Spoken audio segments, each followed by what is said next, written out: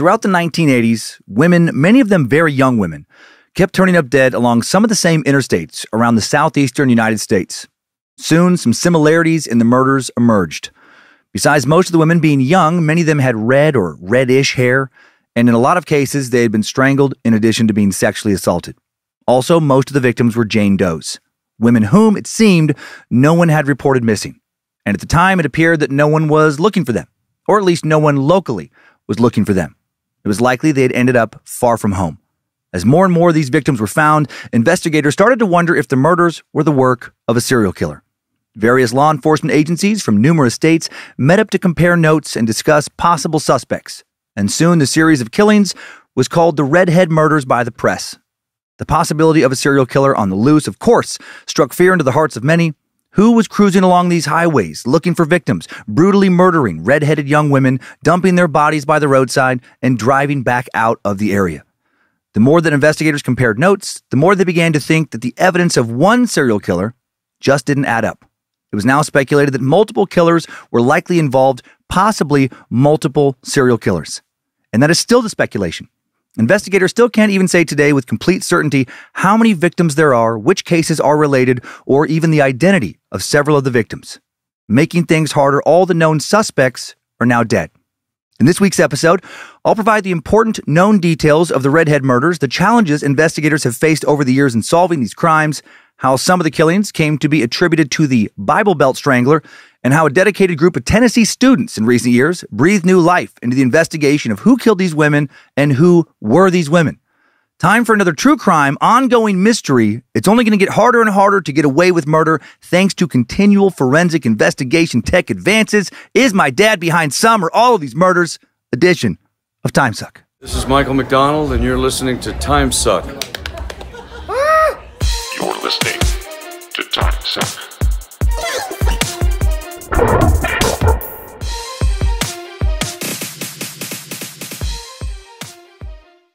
Happy Monday, meat sacks. Welcome to the Cult of the Curious. I'm Dan Cummins, Suck Nasty, Rambo fan. Nothing is over. You just don't turn it off. Brickbat aficionado, and you are listening to Time Suck. Uh, quick thanks to Cody Garrett, the donut operator, for the t-shirts. Uh, he was wearing one of mine on a, on a recent YouTube video. Really, really cool, really cool guy. Uh, come see me in Phoenix this weekend. Help me figure out what new ideas I have are good for stand up. Hear some old bits, have some fun. I'll be at Stand Up Live April 21st and 22nd. Then I'll be in Bloomington, Indiana, May 4th, 5th, and 6th at the Comedy Attic. Then Madison, Comedy on State, May 11th, 12th, and 13th. Then nowhere. Well, I'll be, I'll be uh, hopefully I'll be somewhere. I'll be, I'll be living and doing things that are not related to stand up shows uh, for quite a while. Other than the little comedy open mics around here where I will uh, hopefully sneak in and out unnoticed. Recording a, a, bit in advance, still don't have the donation amount, but I know that we are donating in April to bigtable.com. It's actually big-table.com. Uh, one in six restaurant workers are below the official poverty line, double any other working population. 43% make less than economists say is needed just to make ends meet.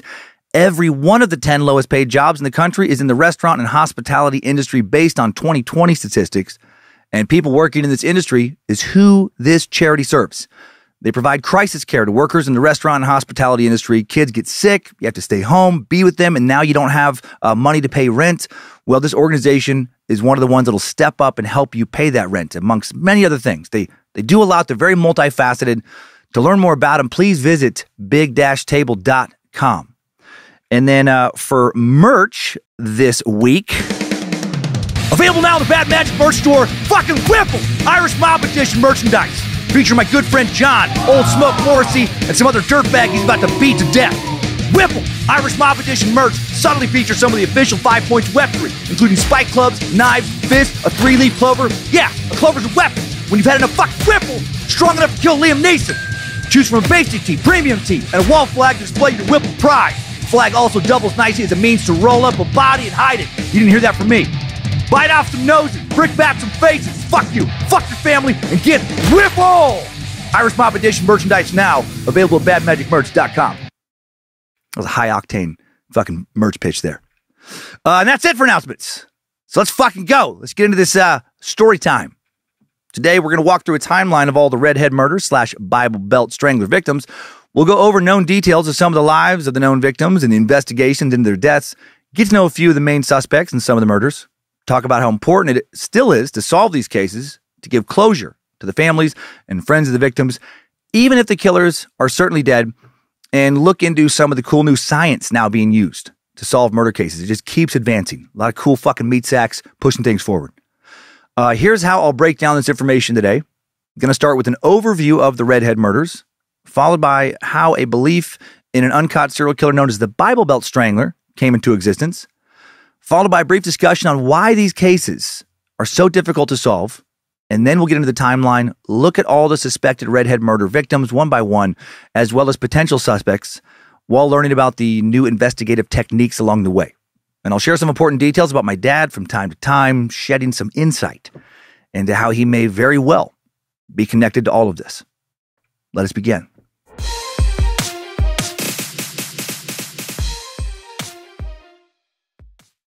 Uh, initially, all the victims I'm covering today were linked, uh, albeit loosely in several cases, to the redhead murders. A series again of unsolved murders of mostly redheaded women in the U.S. Not the best name, actually, for these murders because uh, a lot of the victims don't have red hair. Uh, sometimes other details, such as where the bodies were found, when the victims died, how the victims were killed, is what linked them to the redhead murders. Occasionally, the name the press or law enforcement assigns to a group of murders believed to be connected in some way uh, does not actually end up being the best fitting name. In this case, the press noticed that several victims had red hair. That name was tossed out, printed, it stuck, even when uh, several other victims did not have red hair. Now, here we are. Uh, it is generally accepted that these murders took place between 1981 and 1990, but sources do differ on these dates since there are several examples of maybe this murder is connected to the other victims. Interestingly, my dad was between the age of 27 and 36 during this stretch. He was in great shape during those years. I have the pictures to prove it. Very strong. Uh, there are huge gaps in time where no one can uh, conclusively account for his whereabouts. He did have a temper when he was younger, and he loved the ladies, especially redheads. My first stepmom was a redhead. Talked a lot about how redheads really did it for him.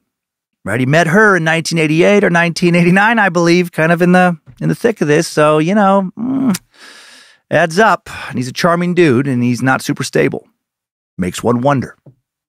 Anyway, these murders took place in southern states such as Arkansas, Kentucky, Mississippi, Pennsylvania, Tennessee, West Virginia, Georgia, and North Carolina.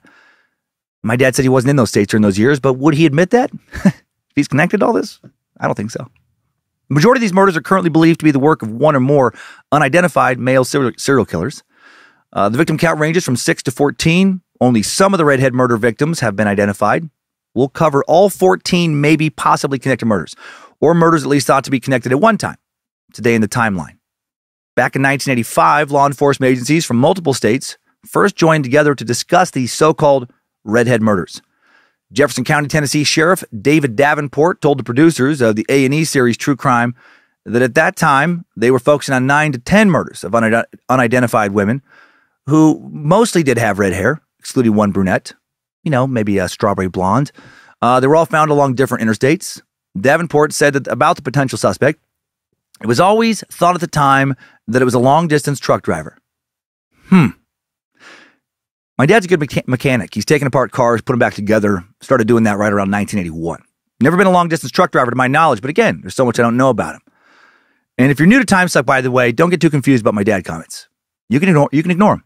Maybe at your own peril, but you can't ignore them. Maybe just an old gag here, or a real concern about a lot of crimes, especially unsolved crimes that I've had for quite some time. Tennessee Bureau of Investigation Special Agent Brandon Elkins also spoke with A&E True Crime and said police did all they could do then, but the top-notch technology basically was blood typing, which only provides a circumstantial pattern at best. We were able to resubmit evidence using techniques we currently use, and we were able to obtain DNA evidence that ultimately le- ultimately led to solving the case. Now, his use of the word solving here does not mean that all of these murders have been solved because that's not even close to the case. Uh, later forensic techniques have pretty conclusively solved mm, two of the murders. A third looks pretty damn guilty. This third suspect and another one. None of them ever, ever stood trial though for their murders. They were they were already dead, as I mentioned. Recently, the unknown killer linked to some of these murders has been given a new name, the title of the Bible Belt Strangler. And let me explain the connection between the so-called redhead murders and the so-called Bible Belt Strangler, since I was confused myself looking into this topic that the Space Lizard Patreon supporters of this show voted for me to explore. On May 15th, 2018, a small group uh, of Elizabethan, Elizabethton, Tennessee high school students presented their research on the redhead murders. They studied the victims, the prof- they profiled the suspected killer, and came up with the moniker Bible Belt Strangler. Student Kayla Vandeventer told Knoxville local uh, NBC affiliate WBIR that they chose the name Bible Belt Strangler for the six victims they focused on, quote, because Nashville is the buckle of the Bible Belt and these surround Nashville, and we think Knoxville or Nashville is where the killer lived. Uh, the students have been working on the research for months. They've been led by their sociology teacher, Alex Campbell, who'd been fascinated with some of the unsolved redhead murders in and around Tennessee for years. And he wanted his students to not only learn something useful in his class, but to do something useful as well. In this case, he wanted them to learn what life is like for their fellow citizens who are living along the very bottom rungs of the of the uh, socio socioeconomic ladder in America. Excuse me. And also, he wanted these students to simultaneously do something to help these fellow citizens. Campbell told WBIR, "There's a whole other side of life we don't think about much, and sometimes those people aren't represented, and we wanted to do something to help them." His students believed that the suspect was slash is in the trucking industry, and as referenced by the name, that his preferred modus operandi operandi, come on, uh, was strangulation. That word actually, uh, I pause on it because modus operandi, modus operandi, both uh, both play. Five out of six cases they primarily focused on were Jane Doe's at the time. Their efforts led to several being identified thanks to renewed interest in the case and advances in forensic investigation techniques. And these six victims, we'll cover all these women in the timeline. There'll be six of the first nine victims I'll mention, and they were found in Wetzel County, West Virginia, February 1983, Crittenden County, Arkansas, September 1984, Campbell County, Tennessee, January of 1985, uh, Cheatham County, Tennessee, March 1985, Knox County, Kentucky, April 1985, and Greene County, Tennessee, also April 1985. Alex Campbell had the students analyze 11 unsolved murders in total in Tennessee and other states. Uh, we'll actually go over all 11 in the timeline and a few extra murders that uh, have been lumped in together with all this, and he and his students found similarities among the six I just listed. All these victims were thin white women with red hair, killed between 1983 and 1985. They were suffocated or strangled and found close to major roadways. And the police believed that all of them were hitchhikers or sex workers or both. These six victims did not show evidence of sexual assault, so they theorized that the killer murdered them because he thought they were, quote, harmful to society. Students created an eight page profile of the killer in May of 2018 you can find it in its entirety online. Just link from this episode's notes if you'd like to. But I will share most of it here right now. It's fucking excellent. Very impressed. Again, this is this is high school students putting this together. Here's the profile. Sex, male. Rationale. The killer only preys on females, and serial killers almost always target the opposite sex or those they feel sexual attraction to unless it is a comfort killer. The killer was able to overpower the victims, attacking up close with bare hands. Along with this, the distance between the roads and location of the discovered bodies is significant. Dozens of yards away and up down gradients to the dump sites without drag marks or use of any mechanical advantage, which shows the killer had to have enough strength to carry the bodies over broken ground, indicating a larger and stronger male's ability to overpower a smaller and weaker female. There has been no recorded instance of a female serial killer who used physical strength or up close methods of killing. Females are almost always comfort killers that use poison, rarely using weapons, guns, knives, axes, etc., which give a female power over a male to kill. Females almost always kill people they know. In this situation, the suspect is killing unknown people. Also, assuming the killer is a commercial truck driver, nearly all in this time period were male. Age. Date of birth no later than 1962, but no earlier than 1936. Rationale. I love how they broke this down. Nearly all serial killers began their murders in their late teens or early to mid 20s the age in which most mental disorders often manifest themselves and are diagnosable. The killer would need to be relatively full grown in order to accomplish the killings, since they were committed with bare hands. The killer must also be of, uh, be of or above the legal age required to possess a commercial driver's license in order to carry out the killings at such a long distance. The upper end of the age range would be 48 at the time of the last known victim. There comes a time when age slash health slash strength will become a limiting factor in killing with your bare hands, and moving adult bodies over a distance. We feel that around 50 would be the time period this would begin to limit his physical ability to no longer conduct the crimes in the same way. Height 5'9 to 6'2. Rationale The killer must be average height or taller in order to overpower the victims efficiently. Because these kids haven't seen a lot of uh, short, strong guys. Uh, but they continue. It would be not. It would not be practical for the killer to attack someone bigger and taller due to the fact that bare hands were used to kill. Okay, makes sense. If the killer had to carry victims to the dump site, the suspect would need to be able to hoist them and carry them without leaving evidence of the body's movement. A limit on height slash size is necessary. Because if a trucker was inordinately large, the suspect may frighten a potential victim or draw unwanted attention at the truck stops, restaurants, and rest areas that truckers frequent. Put a lot of thought into all this. Uh, weight 180 to 270 pounds. Rationale the killer must be average to above average weight in order to have the confidence that needed to overpower they needed to overpower the victims and move the bodies with only brute strength. It is likely the killer has a muscular build because of the method of killing and disposing of the bodies. Since the suspect is considered to be a truck driver, which is often sedentary, extra weight, especially in an older suspect, would be suspected. Weight also factors into the successful methods of killing strangulation, suffocation, and blunt force trauma. We can also conclude that since the suspect is most likely from or living in the South for a long period of time, and the South is consistently rated as the most overweight section of the contiguous U.S., that there is a higher chance that extra body weight is carried. Just fucking cold logic. Love it. Where does he live slash work? On or around Interstate 40 slash Knoxville, Tennessee region? Rationale.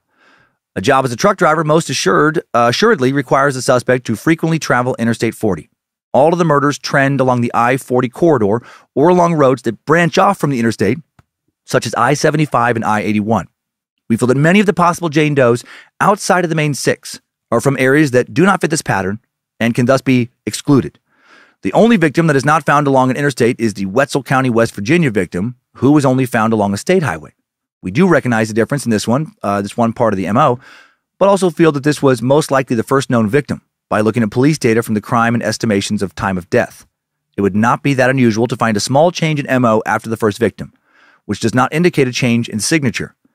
That road still connects to uh, major cities in West Virginia, and the victim was seen possibly hitchhiking from one of those. Knoxville appears to be at the geographical center of the murders and also has I 40 going through it as well. We feel that anywhere along the I 40 corridor running from Knoxville to Nashville is a possibility. There are more bodies found along interstates that connect through Knoxville slash Campbell, uh, Knox, and Greene County victims. We feel that the killer either lives in a close proximity to Knoxville or works out of there as a part of a job.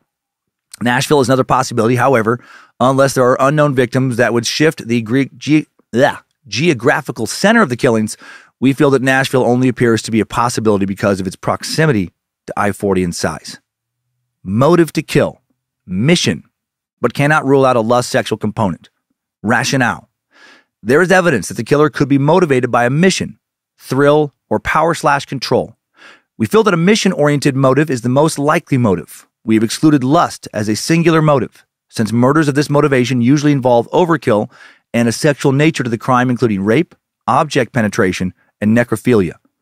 We cannot totally exclude lust as a possible motive as the victims were found nude or partially clothed, and most of the victims, who all have similar physical features, were most likely in the sex industry of prostitution. We also do feel, or do not feel, that it is a thrill killer because they often perform aberrant sexual actions upon the victim, use a weapon to torture the victim, rape the victim, and usually perform object penetration. We also do not feel that it is a power slash control killer because there is almost always evidence of victim torture before death, binding of the victim, including ligatures, aberrant sexual activity, rape, object penetration, and necrophilia. We feel that this killer is most likely a mission oriented, unknown subject due to the fact that the killer's motive matches best with the characteristics of a mission killer. After using a table produced by law enforcement to narrow the motives of serial killers by using characteristics of their crimes, mission oriented scored a 13 out of a possible 15, while thrill scored 11 and power slash control scored 10. There were no signs of rape, necrophilia, torture, binding of hands, feet, torture weapons, ruling out almost all other categories besides mission. Mission oriented killers often see their victims as a means to accomplish an end.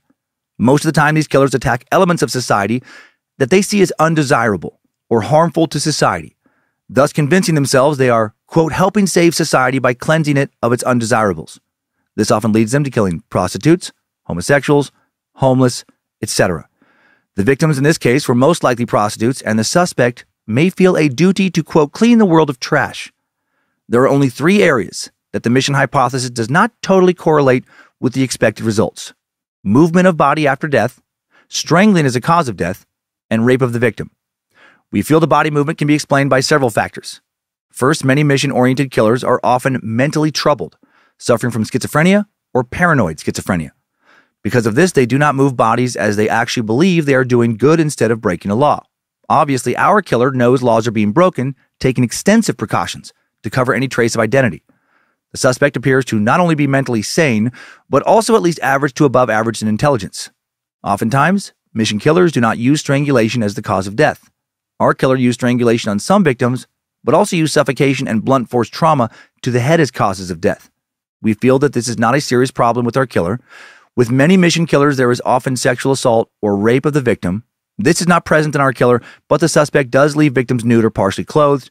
We feel that this mindset of seeing the prostitutes as dirty and evil may prevent sexual contact with his victims, although some pleasure is extracted from undressing the bodies and leaving them exposed. Occupation truck driver. Rationale the killer must travel frequently, as all of the bodies except one were found next to the interstate, with one being beside a major highway between moderately large cities within a state. Commercial truck drivers have a larger radius for travel than most other jobs. The commercial freightliner would provide more concealment and space to hide slash transport bodies over multiple days, as evidence suggests a couple of the bodies were not dumped until several days after their death, giving the suspect frequent access and opportunity. That's a really smart note. A truck stop beside the interstate is totally normal and would not call as much attention as a car stop beside the interstate would. The Motor Carrier Regulatory Reform and Modernization Act, more commonly known as the Motor Carrier Act of 1980, was a law that deregulated the trucking industry. Since the law was passed, the number of new firms increased dramatically. By 1990, the number of licensed carriers exceeded 40,000, more than twice that of 1980. Combined with the Staggers Act of 1980, intermodal freight transport surged, expanding 70% between 1981 and 1986. This caused tens of thousands of more jobs to open up in the trucking industry, which possibly could have caused the unknown subject to be employed in one of those new jobs, thus providing the opportunity to kill as never experienced before. Possibly this new exposure to the prostitution trade as a truck driver could have been the trigger that fueled the mission oriented motive for killing. We feel the truck driver hypothesis is more likely than others who travel for their jobs like salesmen, nurses, etc. The reason is that suspects kill and dump where they feel comfortable. Salesmen may travel the interstates, but most of their interaction with people is away from the interstates, in town and business areas. If they desire to kill prostitutes, they would acquire them in the cities. If the killer were traveling uh, a traveling member of the healthcare community, he she would most likely acquire victims in and around healthcare facilities. Many serial killers have killed patients and those in the facilities for the age, uh, aged, and if this killer were a member of the healthcare community, he she would most likely follow that pattern. Race, white. Rationale. Only Caucasians are sufficiently evil enough to commit acts like these. Our teachers made it clear to us that white men are the bane of human existence, and if there were any true justice, all white men would be put to death immediately. Think about it Hitler, Stalin, Ted Bundy, Jim Jones, Ed Kemper, Dan's dad. All white men, all evil killers. Uh, JK, no, they didn't provide that rationale. Uh, here's what they provided. Rationale all the victims are Caucasian. It is most common for serial killers to kill victims of the same race. Over 90% do. Most killers are comfortable killing victims of the same race as they often are found in areas that are racially homogenous to themselves and do not stand out when acquiring victims. The percentage of African American truck drivers in the 1980s was presumably lower than the average percentage for African Americans in other jobs, as trucking did require some form of certification to qualify for the job. It would be also much less suspicious in the South, which still experienced overt racism, for a white to acquire white victims. It would therefore be much less suspicious if the perpetrator were white and the same race as his victim. Personal relationships. Yes. Possible long term relationships. Rationale. The killer shows all the signs of being an organized killer by acquiring, killing, and dumping bodies in separate states. He also lures victims instead of just killing them where they are found. Therefore, it is most likely that the suspect is at least average to slightly above average in his intelligence and understands basic police techniques, which has aided his ability to remain undetected. His above average IQ helps to understand that these desires are not normal and must be hidden using what Harvey Cleckley referred to as the mask of sanity.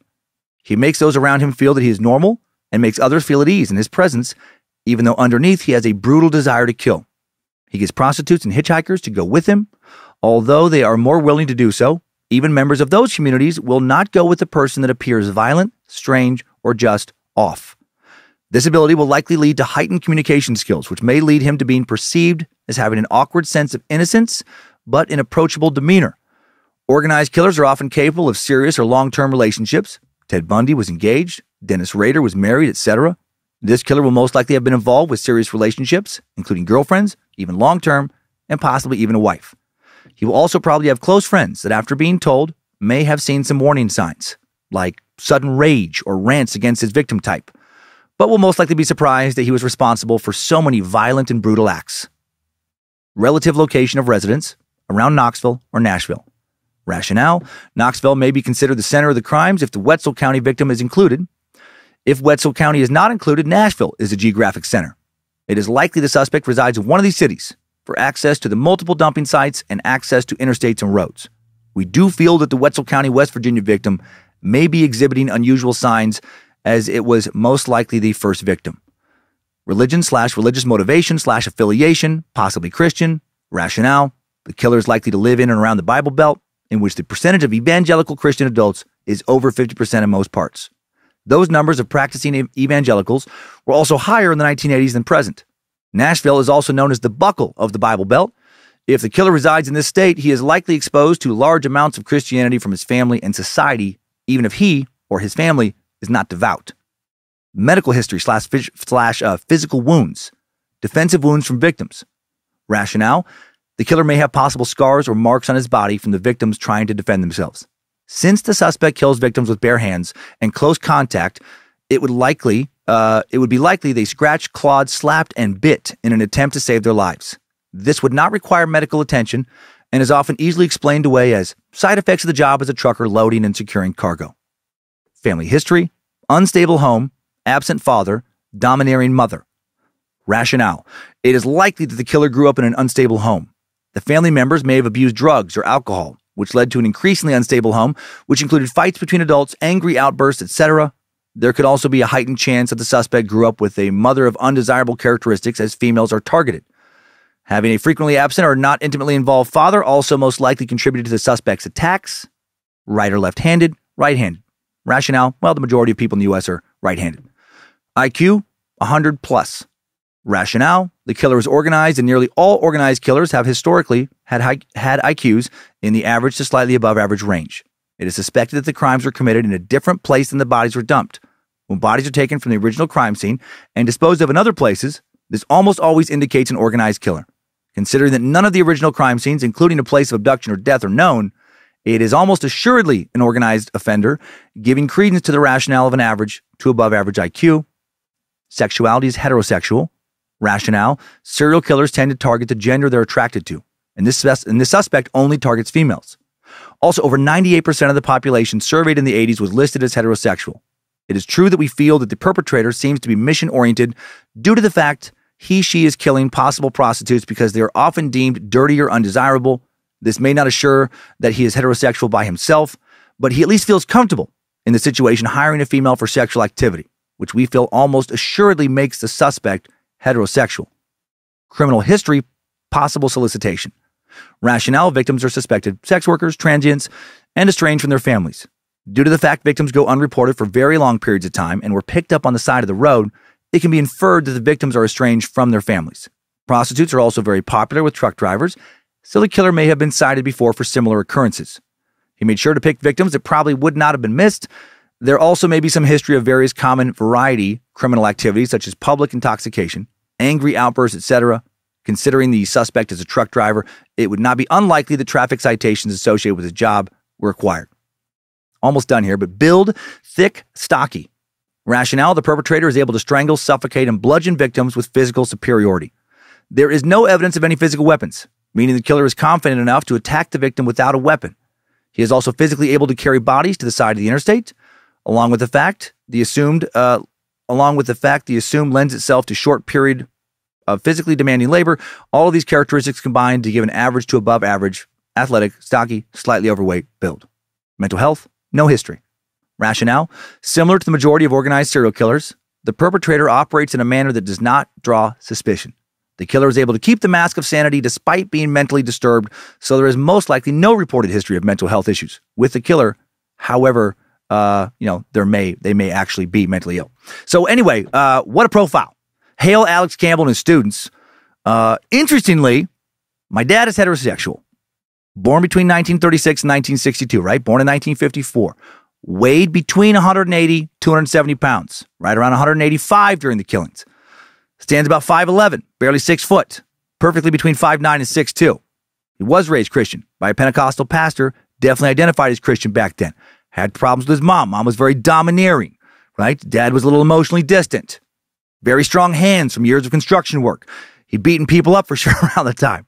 Kicked ass at arm wrestling. Kind of makes me think he would have been pretty good at strangling. And look, I'm not saying that my dad is the Bible Belt Strangler. To be clear, he probably didn't even live in Knoxville or Nashville. Might not have been a truck driver, but who knows? I just don't know where the fuck he was most of the time back then. Uh, these same students theorized that the killer stopped killing or at least moved on to killing victims somewhere else when he quit working as a truck driver. During their press conference, one student read a letter from a 34 year old woman named Elizabeth Pilgrim, who believed she might be the daughter of the Kentucky victim. Pilgrim was quoted by the Times Tribune as saying, Hopefully, this team can find the person that committed these awful crimes. These women were somebody to someone, and each and every one deserves for their story to be known and justice to be served. The hope of one day finding what happened to her has never left my thoughts. I feel like what I've been waiting for all these years is unfolding before me. Uh, Elizabeth was right about her mom. I will share more details in the timeline. Uh, law enforcement in various counties attended the presentation, hoped that the publicity would lead to some new tips. The class following the presentation worked with law enforcement to learn about profiling and case details. Also worked with Indiana investigative journalist and podcaster Shane Waters, who hosts the podcast Out of the Shadows. Uh, not sure if that's currently active, but at least it was. Uh, Waters traveled thousands of miles to the crime scenes the students uh, focused on. The victims believed to be the Bible Belt Strangler victims, and they put up six crosses to represent the six victims. Alex Campbell closed the press conference by stating, Bible Belt Strangler, we know you're out there. We know someone saw something. And after today, everyone knows we are looking for you. We are our sister's keepers. We are their family. Okay, so why had Elizabeth been waiting so long to find out about her mom? Why have these murders been so difficult to solve? Jeff Summers wrote about the difficulties in the Redhead murders case in a 2022 Grunge article titled, Why the Redhead Murders Remain Unsolved. Uh, in most cases, the victims were not very close with their families at the times of their disappearances. Some of them were likely homeless and may have done sex work, making them members, as we've been reminded over and over in our true crime episodes here, of an extremely vulnerable population. The police described the women as lost in society, according to Knoxville News. Also, Summers uh, wrote, uh, um, excuse me. Yes. Okay. Jeff Summers. Yeah. Making sure I say the right thing. Also, Jeff Summers wrote, uh, that doesn't mean that individual officers didn't care or do their best to investigate the crimes, but the low social status of the victims combined with the lack of grieving family members pushing for updates and media coverage to elevate the cases in the public eye resulted in a lack of urgency. You know, sad reality of life. The squeaky wheel does tend to get the grease, and no one was squeaking, or most of these women were concerned. And I wish I could have thought of a better analogy there, by the way. The squeaky wheel gets the grease phrase is an apt reference for this comparison, but no one was squeaking is just not a cool uh, thing to say. Doesn't doesn't sound cool. Uh, another reason these murders went unsolved was the lack of the same forensic tools we have now. DNA analysis was a brand new investigative tool not employed by all law enforcement agencies when the redhead murders occurred, and it was not used when the bodies were first found. However, as the years have passed, DNA from these victims has been uploaded to national databases and in several cases has led to the identification of the victims, as you will soon find out. Yet another reason these murders uh, were not solved back in the 80s was jurisdictional, jurisdictional, jurisdictional, extra syllables there, uh, confusion. Too many cooks in the kitchen, quote another old saying, and no one was cooking in these women's kitchens. That phrase doesn't work at all when you uh, when you try and change it that way. Uh, but there were too many cooks. At least seven law enforcement agencies were working on the different cases, and that led to confusion about the actual number of victims. Uh, a, there was a lack of everyone having the same evidence, etc. Uh, super fucking dark and sad. Additional reason these murders were never solved is that these kind of murders uh, were probably still are super common. The LA Times reported back in the 80s that the FBI believed there may have been more than 750 U.S. highway murder victims across the U.S right? And the FBI had a list of 450 potential suspects in those murders. FBI also believed that many of the killers were likely truck drivers. So sadly, these murders were just a few of many, many unsolved murders involving women dumped along the side of the road, likely killed by truck drivers around this time. And further complicating all of this is that the victims were far from home. The victims who have been identified were not residents of those areas where they were found. That made it so much harder to identify the victims and thus figure out who they'd been seen with, right? Uh, you know, to, so they could zero in on a suspect, which would have been a lot easier if the victims were local. Finally, with these murders, there was the advantage of picking up victims and later dumping their bodies along the side of so many remote stretches of America's freeways and highways, right? Which, which at night, eh, there's, there's likely not going to be any witnesses. And this is why we, we have, uh, you know, covered so many serial killers who have done this. The three freeway killers come to mind first, Patrick Trashbag Killer Carney or Kearney, William Bonin and his death van, and Randy the scorecard killer Kraft. The Federal Aid Highway Act of 1956 led to the construction of the U.S.'s national system of interstates and defense highways, over 42,000 miles of new uh, asphalt across the nation. And all these new roads made the transportation we now rely on for the quick movement of goods possible and it has helped our, our lives uh, tremendously, improved them greatly. But there's also been a dark side to this development. Ginger Strand wrote in her book, Killer on the Road Violence in the American Interstate. Before the concrete was dry on the new roads, however, a specter began haunting them the highway killer. Some of these criminals were imagined, but many were real. Highway violence followed hard on the heels of interstate construction. The nation's murder rate shot up in the 60s and 70s. America became more violent and more mobile at the same time yeah, highways can be very useful tools for killers, uh, very dangerous places for victims. For killers, they provide easy escape routes. Vulnerable hitchhikers can be picked up by anyone driving on these uh, highways. And victims can be dumped, you know, in so, so many places outside of towns and heavily wooded areas just off the side of the road. All that makes me think about the highway I grew up along.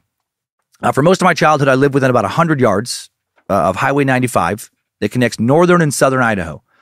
And long stretches of this highway, like uh, most of the 45 mile stretch north of where I grew up, are so remote, so dark at night. Uh, so dark that Lindsay does not like to drive this highway at night. It creeps her out. The road follows the main fork of the Salmon River most of the time as it cuts through a very narrow little canyon fenced in by steep mountain ridges on each side. That means you get a lot less of the sky than you would, uh, uh you know, on a prairie. So there's going to be less light less stars, you know, uh, less likely the moon's going to illuminate anything. And there's uh, no streetlights at all for long stretches. Very, very few homes, so no lights there, no witnesses. Also, thanks to big bends in the road, right, which fall in the river, uh, you can see any and all approaching cars coming from like a mile or more away in many places. So you generally have, like in these places, 60 or more seconds to hide whatever shady shit you're doing, like dumping a body. And there's a whole bunch of these little campgrounds right next to the road but also down below the road and next to the river. And often they're hidden behind some pine trees, or sometimes they're up above the road, you know, tucked behind a little bank of dirt where the highway's cutting through some mountains. Basically, in addition to the remoteness, there are just so fucking many places to quickly hide, where as long as you kill your engine, turn off all your lights, no one passing by is going to know you're there. Also, very little law enforcement patrolling this area. People cruising by when they are cruising by, uh, you know, do uh, so at 65 miles per hour plus generally don't have their windows down. So even if someone were screaming from one of these campgrounds, who would hear them? No one lives near many of these little campgrounds. And in the winter, most of the time, no one's camping there. Also in the winter at night, zero boat traffic on the river. And yet I've seen lone hitchhikers in this area over the years. I've seen young women out by themselves on the side of this highway with their thumbs out. I'm sure my dad has. You know, he lived around this area for a long time but it's terrifying. And even if you're not hitchhiking in this area, if you're picked up by someone somewhere else and now they're driving you through this area, they could so easily hide your remains, dump you in the river, etc. So if you're ever thinking about getting into a stranger's vehicle for any reason, going for a ride, think about shit like I just went over and maybe don't get into their vehicle maybe go to the you know YWCA. We have a place called Safe Passage here in Coeur d'Alene. Go to a place that, that help people in uh, in need if you're if you don't have the money and you need to get away to escape some violent you know lover or whatever. Just take a breath, take a beat, hide in, in a place where you can gather a little bit of funds to get a bus ticket or something, as opposed to risking your life hitchhiking. Yeah, there's just places all over the U.S. where you can so easily disappear. Forensic advancements, uh, they don't matter if no one can find your remains. Okay, now that I've just gone over how difficult it was to solve these murders, and hopefully not given any killers uh, any good ideas on where they should hide their next bodies in Idaho County, let's examine the murders themselves. Learn a bit about the victims when we can, also learn a bit about who likely killed some of these women when we can, and find out who some of these Jane Does actually were thanks to advances in forensic investigative technology and renewed interest in these murders, partially due to those Elizabethton, Tennessee high school students led by their sociology teacher, Alex Campbell, hasn't hurt either. It is timeline time. Strap on those boots, soldier. We're marching down a time-suck timeline.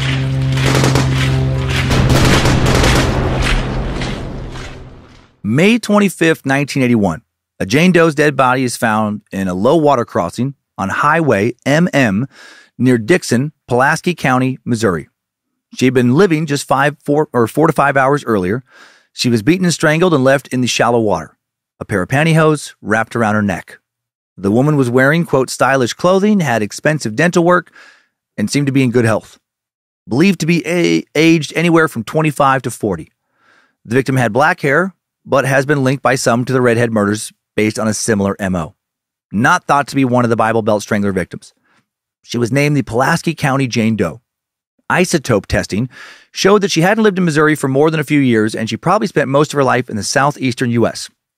And I don't remember hearing about isotope testing when it comes to determining, determining where a victim lived before.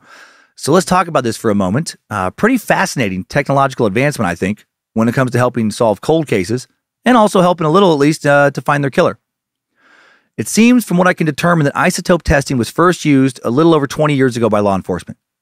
Per 2019 information, it is estimated that 4,400 unidentified bodies are recovered just in the U.S. each year, with a thousand of them remaining unidentified after one year. All told, there were again as of 2019 more than 40,000 sets of human remains listed as unidentified in the U.S. Thanks to modern forensic technology, now in cases where medical examiners are limited by the information that DNA analysis can provide, forensic anthropologists are often able to help identify victims. Specialists in the hard tissues of the body, such as teeth, bones, fingernails, even hair, forensic anthropologists can now tell the story of the deceased by providing a biological profile. This profile includes the sex, age, ancestry, living stature at time of death, and a rough post-mortem interval. They're also able to determine if uh, trauma or disease was present. And they're able to do all this thanks to increased understanding of isotopes. So cool. Uh, the scientific definition of an isotope is this a form of a chemical element in which the atoms have the same number of protons but a different number of neutrons. For example, carbon 12, carbon 13, carbon 14, all different isotopes of carbon. And what does that really mean? Fuck if I know, I'm not a scientist. But I do know, thanks to reading some different articles about all this, that different parts of the world have different isotopes and different amounts of various isotopes, that they form a type of uh, geographic fingerprint. And examining the types and concentrations of isotopes in someone's remains allows forensic anthropologists to determine where someone roughly lived, which is crazy. The earliest example I can find of law enforcement using isotopes to try and solve a cold case comes from a government article about this originating in Salt Lake City. Salt Lake County homicide detective Todd Park was in Reno, Nevada for a conference about serial killers in 2007 when he first heard about what he called the isotope stuff. A colleague at the meeting described the forensic potential of isotope research being done by IsoForensics, a Salt Lake City company, and Park quickly realized that the science might help him identify the victim in a homicide case he'd worked on seven years earlier. Park, a cold case specialist with the Unified Police of Greater Salt Lake, called Jim El- Ehleringer, a University of Utah biology professor and IsoForensics senior scientist, and told him about the case of Saltair Sally. In October of 2000, some duck hunters found some of this uh, woman's remains a cranium, teeth, about two dozen bones, and a, a little uh, scrap of hair. Nothing more. In some desolate brushland near Saltair, a resort area on the banks of the Great Salt Lake. Uh, her body maybe been there for a year, maybe two. It was the first case of its kind for isoforensics. The firm's scientists conducted isotope ratio analysis on 26 centimeters of the woman's hair, provided by the Utah State Office of the Medical Examiner. The length of the hair was important, said isoforensics research scientist Brett Tipple, because it acts like a film strip. Measuring changes in the oxygen isotope ratios along the length of the hair, he said, creates a chronology that helps investigators when they are trying to put together a person's travel history. That's fucking wild that they can do this shit now. Uh, the science behind the measurements is based on the naturally occurring isotopes of oxygen and uh, strontium. Yeah, strontium. Uh, the ratio between two oxygen isotopes, 18O and 16O, reflects the water supply in the region where a person lived. Because the ratio differs slightly in different geographic regions based on geologic, climatic, uh, climatic, Environmental factors, these isotopes can be linked to where a person originated. Comparisons of the ratios of two strontium isotopes work in much the same way. Water is the key in creating a travel history from an individual hair because isotopes found in hair are a reflection of the water that people drink, ingested in the case of oxygen, and the water in which they bathe or shower, deposited in the case of strontium. We are pretty wet animals, Tipple says. We, as humans, typically get in the shower every day or every evening because water isotope ratios are stored in an individual's hair based on the specific geographic region where the person lives. Hair analysis can reveal a history of the person's location and movement.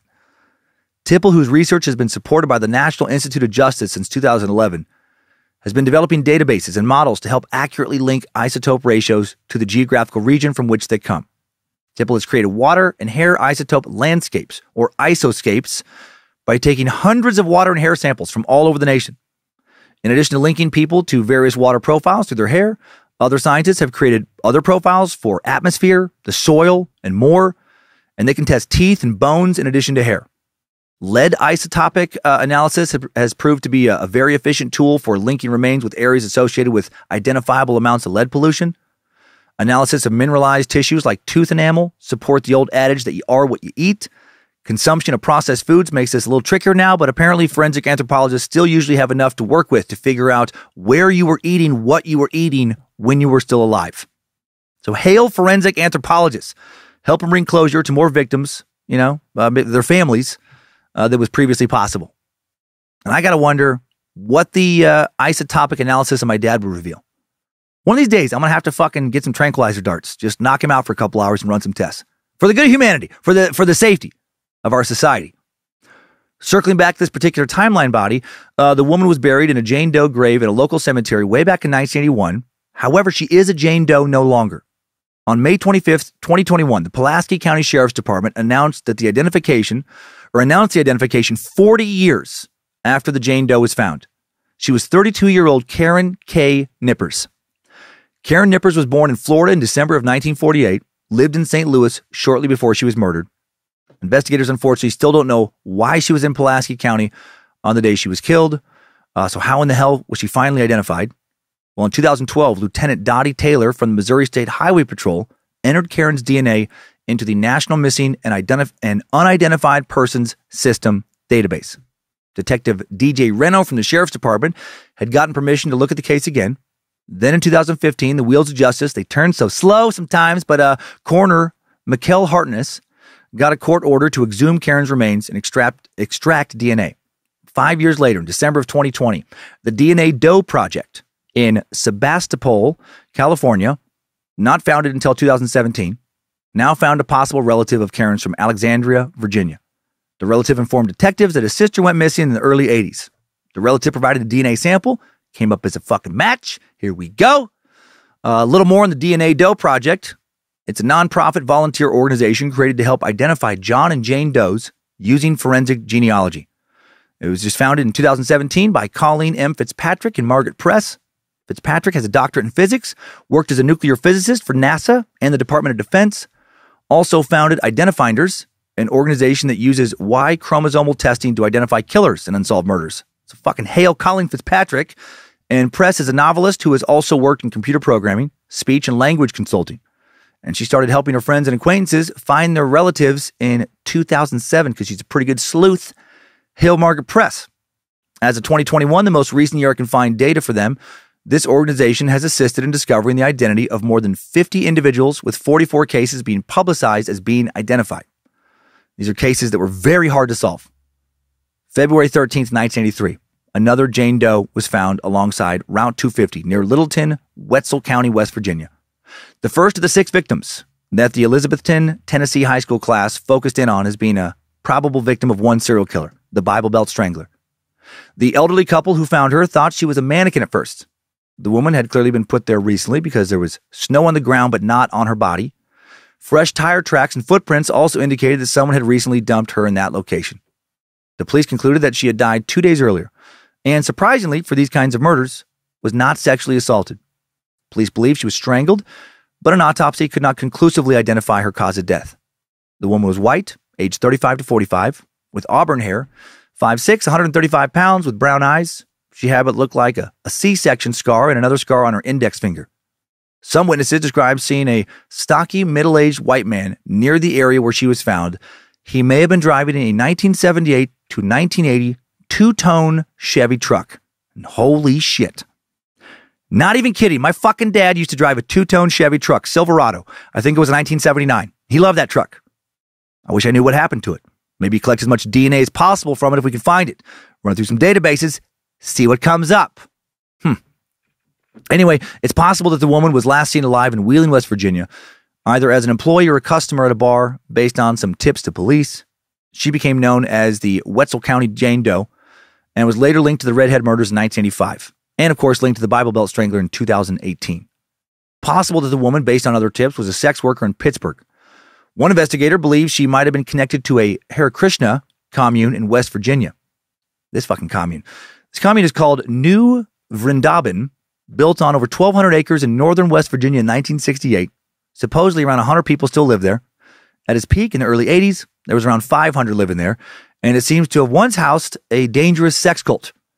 Around the time this Jane Doe would have lived there if she did, in the early 80s, according to later press that came out in the mid 80s, charges of arson, insurance fraud, child molestation, forced prostitution of members, murder, drug running, stockpiling weapons, racketeering, and more leveled against this commune's leadership. Cult, cult, cult. And perhaps a suck for another day.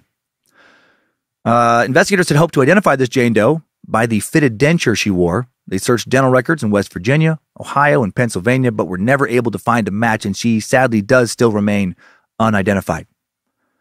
On September 16, 1984, a third Jane Doe was found along Interstate 40 near West Memphis, Crittenden County, Arkansas. Second possible Bible Belt strangler victim. Hitchhiker found the body 20 miles west of West Memphis. The woman was wearing only a sweater, had also been strangled. She wasn't a redhead, but did have strawberry blonde hair, so red ish. Uh, the following summer, on June 25, 1985, Arkansas law enforcement announced they had identified this woman found on I 40 is 28 year old Lisa Ann Nichols and announced she was linked to the Redhead murders. Lisa, originally from West Virginia, also went by the names of Lisa Ann Jarvis and Lisa Fuller, and she had long worked as a sex worker. Uh, a Metro Nashville, a Metro Nashville Vice Squad sergeant told the Tennessean in 1984 that Lisa had, quote, the second longest prostitute record in Nashville and Davidson County. Uh, okay. That's, that's a weird thing to say, right? Like, why not just say sex worker? Why add that she she almost had the record for most prostitution arrests? Uh, it just feels like maybe maybe it wasn't meant to come across that way, but it feels like uh, some victim blaming. Like maybe not the best shit to say to the press, you know? Gives me a vibe of like, oh, shit, uh, she wasn't just a sex worker. No, she sucked all the dicks. I'm not surprised. This is where she ended up. Uh, Lisa was identified by a jailhouse informant who was also a pimp. On June 26, 1985, the Tennessean reported the pimp who's in a Florida jail told police he last saw Jarvis getting into a tractor trailer September 12, 1984, at a truck stop outside Shearerville. Authorities believe she was killed within 24 hours of when she was last seen working the truck stop. Man, too bad that fucker didn't write down license plates. Uh, you know, if he had, they would have nabbed this guy. January 1st, 1985, a fourth Jane Doe was found down an embankment off Interstate 75 near Jellico, Campbell County, Tennessee third suspected Bible Belt strangler victim. Tourists who were taking some pictures along I 75 found her body. She had been wrapped in a blanket, was bound and gagged, and appeared to have been beaten. The woman's autopsy found that she was strangled and probably died several days before she was found. She was also two to five months pregnant. Her description was listed as a white woman with shoulder length, curly red hair, likely aged 17 to 25, but possibly as old as 30, had green eyes, freckles, several scars on her body, had a partial up upper denture for two false teeth. The woman was found wearing a tan velour blouse and jeans, had no shoes on. On September 6, 2018, over three decades after her body was discovered, this Jane Doe was identified, finally, as 20 year old Tina Marie McKinney Farmer, a woman from Indiana. Just over three months after the presentation given by those Elizabethton, Tennessee high school students. Uh, in this case, that did not lead to her identification, though. A lot of additional investigation, uh, investigative work was already being done by the time they gave that presentation. 20 uh, year old Tina Marie McKinney Farmer was last seen by those who knew her Thanksgiving Day 1984, almost six weeks before she was killed, reported missing soon after Thanksgiving. In 1992, Tina's sister, Sandra Price, called the Indianapolis police to remind them it had been eight years since Tina went missing and she and the rest of the family wanted some fucking answers. Well, they'd have to wait another 26 years.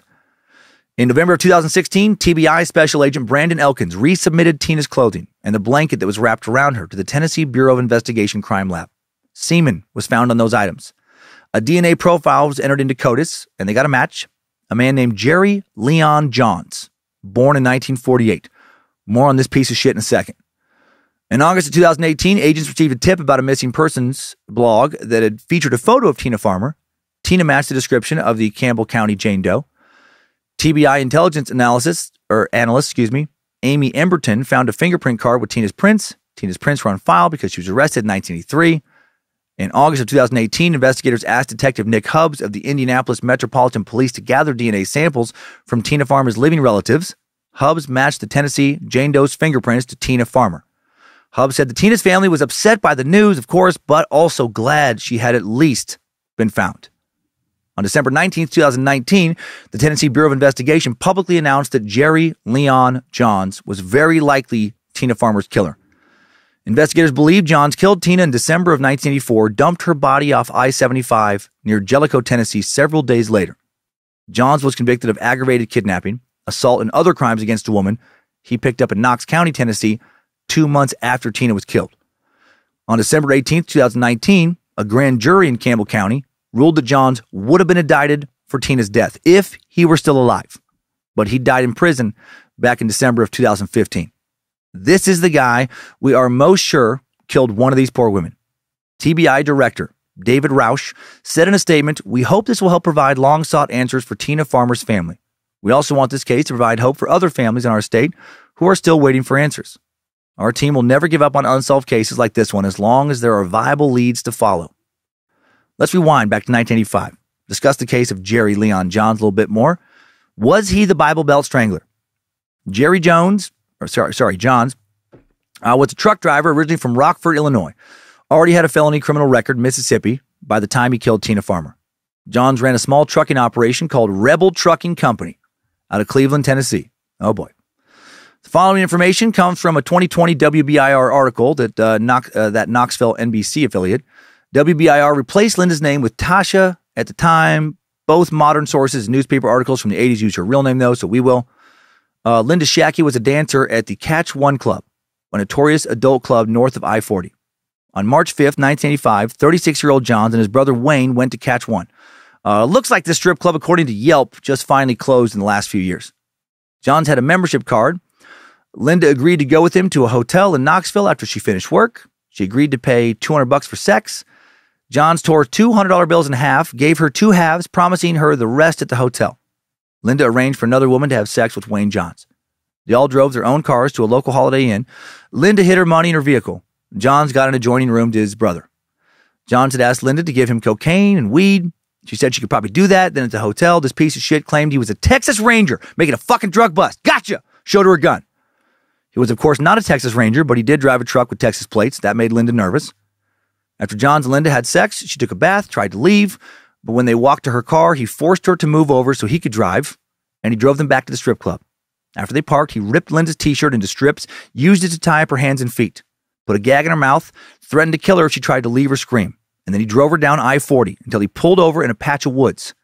There, he forced Linda out of the vehicle. She asked if he was going to kill her, and he said yes. Linda asked why, and he told her, You become a nuisance. Linda said that Johns was angry because he found out, fucking get this, that she was not a natural redhead. Acted like he was going to shoot her, but instead he strangled her. Another fucking uh, tip towards the Bible Belt Strangler with her t shirt until she lost consciousness. Uh, I think thought she was dead. She wasn't. She woke up in a culvert, crawled out, flagged down another trucker on the interstate, told the trucker and other people who stopped that someone tried to kill her. She was so scared, she begged her rescuers not to kill her as well. Also told troopers uh, what happened, informing them that John stole her car and she gave them their uh, room numbers at the hotel.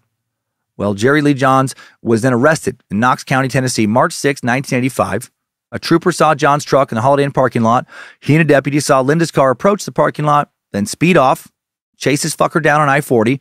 When he finally stopped, the police found a loaded gun inside his car and found uh, his motel room key, a little over 750 bucks in cash, and his strip club membership card, and saw him throw away several hundred dollar bill halves. Johns was immediately considered a suspect in the Redhead murders. When he was arrested, he was questioned about 20 unsolved murders in Tennessee, Ohio, Pennsylvania, Alabama, Texas, and Mississippi.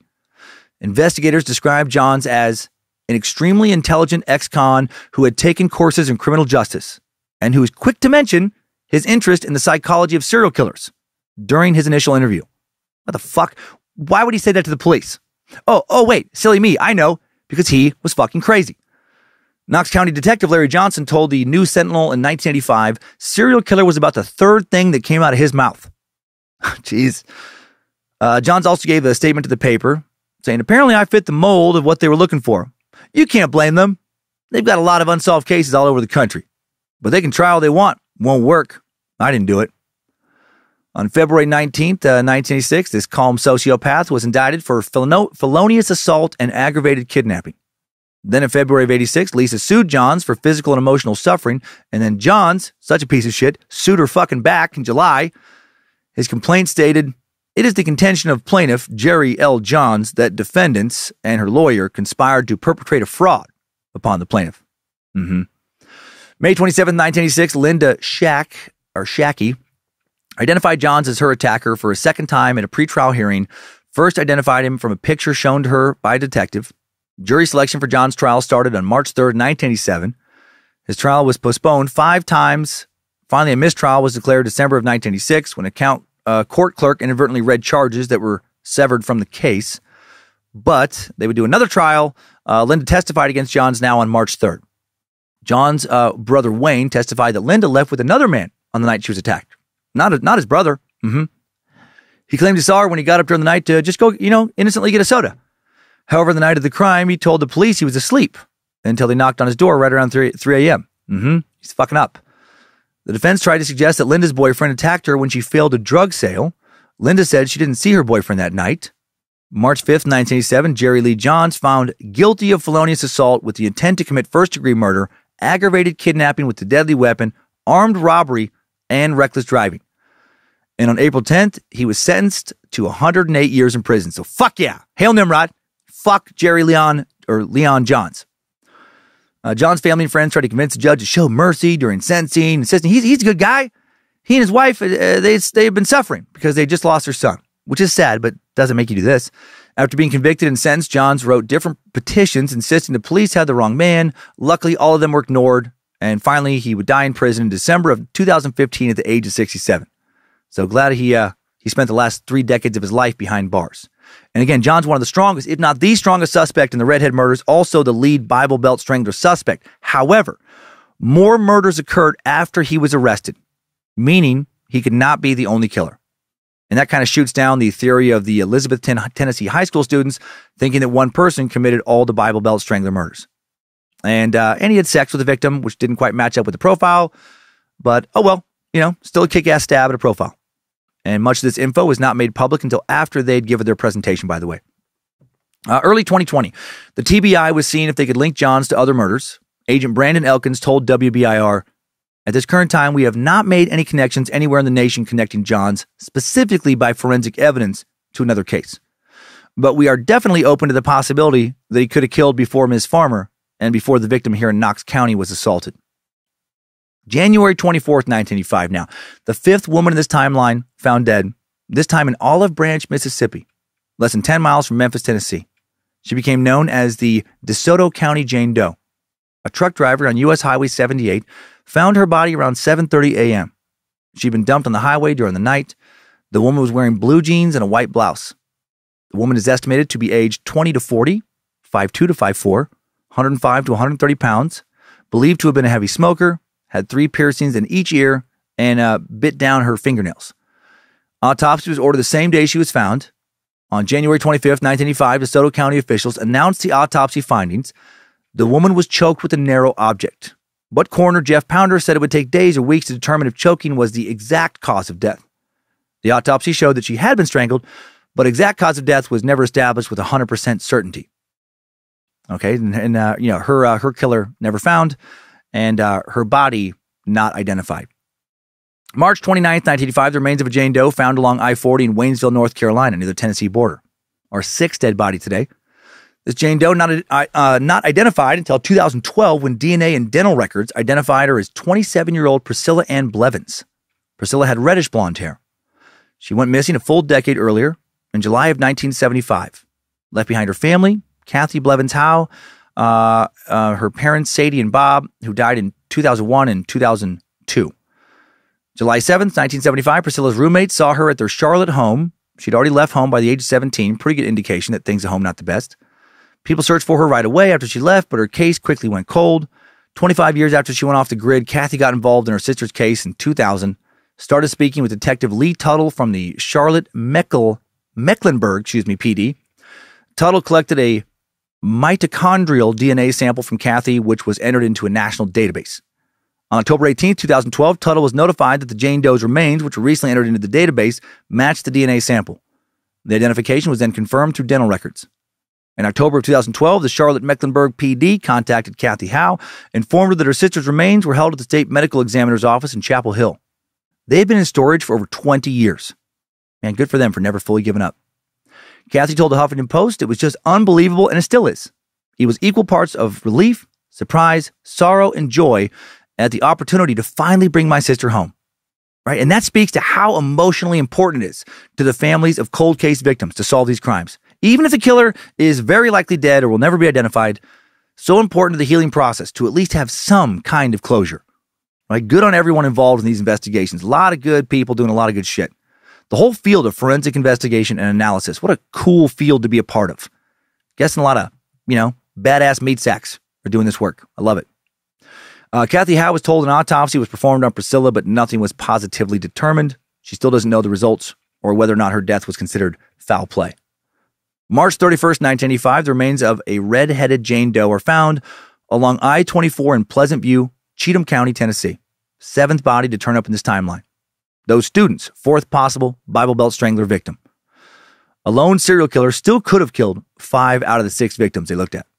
A Couple driving on I 24 stopped because their car overheated. They were trying to get water from a creek at the bottom of the embankment and then found bones and clothing about 75 yards off the interstate. A fucking random day for those people. Uh, skeletal human remains, bloody shreds of clothing found along the roadside. April 1st, local deputies in the coroner went to the site, found a skull, bones, and uh, a knit sweater and a blouse with blood on it, a black bra, designer jeans, and thermal underwear. The clothing appeared to have fallen in a line from the interstate to the bottom of the embankment. There was also a lot of reddish brown, medium length hair scattered near the bones. This body also still has yet to be identified. April 1st, still in 1985, another Jane Doe found inside a refrigerator. Fuck. Along Route 25 in Gray, Knox County, Kentucky. The eighth body, Bible Belt Strangler victim, possible victim, number five. The woman was found that morning by two men who were looking for appliance parts in the dump off US two, uh, or the U.S. Highway 25E, four miles southwest of Corbin, Kentucky.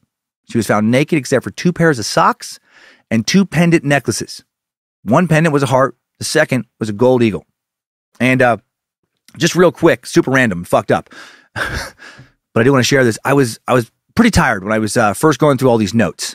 And the, the information on this uh, particular topic is so fucking scattered. Like there's no like good primary source. You just got to grab like newspaper articles and kind of like, you know, pile it all together. And uh, which is a little more mentally taxing than like an like an easier kind of narrative where the information's already been gathered somewhere. But anyways, a little tired, a little hungry, so a little spacey. And when I came across the note about two pairs of socks, my brain, for whatever reason, did not put both of them on her feet my possibly damaged brain put two, two socks on her feet and then the other two on her hands. Like, why would I ever fucking think that? Like for a, just for like a moment, it's like my brain is like was wondering like when she was abducted, it, like like she was in the middle of a fucking puppet show, or like her abductor before killing her made her perform some kind of puppet show. What, what an especially odd, then I couldn't stop thinking about it. Like, what an especially odd serial killer that would be. Someone who kidnaps women and then forces them to put on weird sock puppet shows. Uh, do it, do it, say it.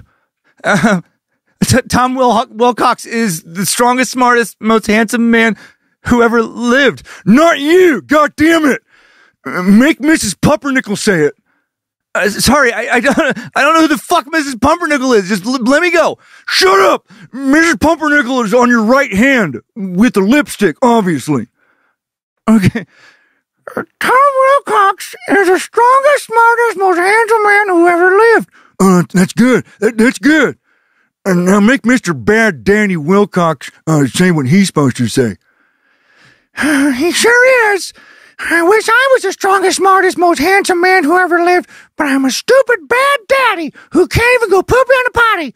Yes, yes, that's good. I love the show. I really, I really love the show. Uh, keep it on. I might let you put your clothes back on. That is a terrifying scenario to imagine, actually. I just, I just wanted to not have that only exist in my head. Uh, anyway, like some of the other victims, and I do realize that sounds like Woody. Woody is apparently my fucking brain's uh, stock puppet voice. Uh, anyway, like some of the other victims, this woman had reddish brown hair, hazel eyes, thought to be between 25 and 32, 4'11, and weighed around 100 pounds. The woman's preliminary autopsy indicated that she suffocated. She'd been dead between two to four hours when she was found and had no drugs or alcohol in her blood, had no bruises or marks indicating she fought off an attacker, no scratches inside the fridge to show that she had tried to escape. Uh, the Knox County deputy coroner believed that thankfully she was put in the fridge after she had died. Strangely, again, considering the norm in these types of cases, there was no evidence of sexual assault. Uh, there were sadly signs that she had recently given birth. The woman was last seen around 2 a.m. the day she died at King's Truck Stop, I 75 in Corbin. Witnesses reported she was looking for a ride to North Carolina. The owner of a funeral home in nearby Barbourville received over 600, excuse me, uh, 600 requests from people in different states asking to view the body. Uh, the community of Barbourville donated a casket and a grave to the unknown woman also helped uh, hold a proper funeral for her. So that's pretty fucking cool. Good on them. Well, October 1st, 2018, over 33 years after her body was found, the Kentucky State Police announced that this Jane Doe was identified as Epsie Regina Black Dash Pilgrim, so Black Pilgrim, from Spindale, North Carolina. Investigators matched her DNA to her daughter, who reported that her mother went missing when she was just six weeks old. Epsie also had four other children. Uh, in the summer of 2017, the FBI re examined Epsie's case, according to Detective Aaron Frederick of the Kentucky State Police. The FBI informed them that they recently found a match for a fingerprint on the fridge. It was later determined that the print was unrelated to the case, but it led to a re examination of old case files. Frederick had never heard of the case before. He looked over the file again, saw that there had been no lead since 1992. This case was cold, cold, cold. They put together a press release, which went out in July of 2017. On October 18th, 2017, Elizabeth Pilgrim, Epsie's now adult daughter, reached out at Knox County Judge Executive J.M. Hall, or 2, said that she believed she may be the daughter of the Knox County Jane Doe. Her mother, Epsie Reg- uh, Regina Black Pilgrim, had went missing shortly before the Jane Doe was found. Judge Hall told WYMT she was just overwhelmed by what she had seen in the papers and she really thinks this could be what she's been looking for for so many years. In October of 2017, Elizabeth's aunt had found a post about an unidentified murder victim. Uh, Elizabeth told WBIR when she saw the picture, she had a feeling and called the police department. Elizabeth noticed that the composite picture looked a lot like her mom. Elizabeth's brother saw on, the, on a Facebook post that the Jane Doe had a birthmark on her left ankle. Their mom had a birthmark on her left ankle and also wore the same exact necklace shown in the photos. Detective Frederick traveled to North Carolina to collect some DNA evidence. Took over a year to get the test results, right? Lab backed up. But Kentucky law enforcement finally learned that their Jane Doe was Epsie Black Pilgrim. Uh, this is what allowed the Kentucky police to reopen the investigation. They learned that, uh, I think it's Espy, sorry. Espy was last seen in the middle of the night at a Kentucky truck stop seeking a ride to North Carolina. A witness remembered someone calling on the CB radio and offering her a ride.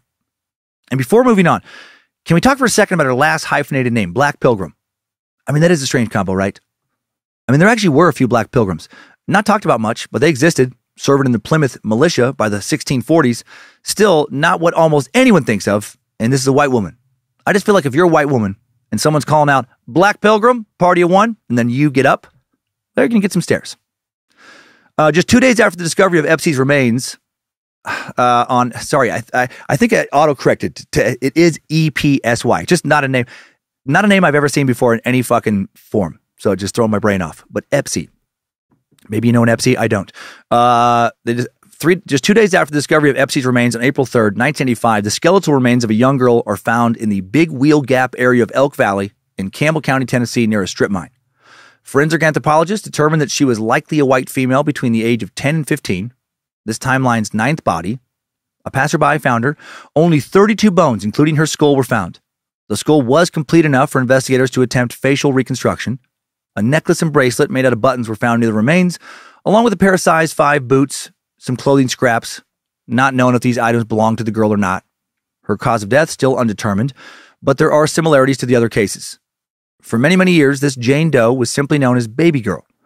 A forensic analysis of the girl's remains determined she was probably not from Tennessee, maybe from the Midwest. Fucking isotopes, isotopes don't lie. I don't think. I still really don't know much about isotopes, but trusting people who do study them. August 30th, 2022, the TBI announced that the skeletal remains of the child found in Campbell County, Tennessee were finally identified. Over 32 years of being found. Right? Incredible. In 2007, a sample of the remains was submitted to the University of North Texas Center for Human Identification. Her profile was entered into CODIS, the national and the National Missing and Unidentified Persons System. Uh, nothing came back from that search. Luckily, it was not the investigators' final effort. In 2013, a TBI agent and intelligence analyst, analyst, why do I keep saying, I don't know what I'm saying, uh, but analyst reviewed the case to look for new leads. Still nothing, but still not done. Last year in 2022, assisted by the University of Tennessee Anthropology Department, a sample of her remains was now sent to a private lab called Othram Incorporated, where scientists completed forensic genetic genealogy testing. In June, Othram found a possible relative who was living in Indiana. TBI then located several potential family members in Lafayette who confirmed that a member of their family went missing in 1978. Agents obtained familial DNA standards for possible siblings, which were given to the TBI crime lab and entered into CODIS. In August, the UNTCHI, University of North Texas Center for Human Identification, positively identified the Jane Doe as Tracy Sue Walker. She went missing from Lafayette, Indiana in 1978, last seen at the Tippecanoe Mall with a friend. Her mom reported her as a runaway when she disappeared. August 31st, 2022, Tippecanoe County, Indiana Sheriff Bob Goldsmith said that Tracy Sue Walker's case became a priority after all those years. Said, We are going to be meeting this afternoon with Lafayette police detectives. We're going to get the information they have. We've already been on the phone with the Tennessee Bureau of Investigations.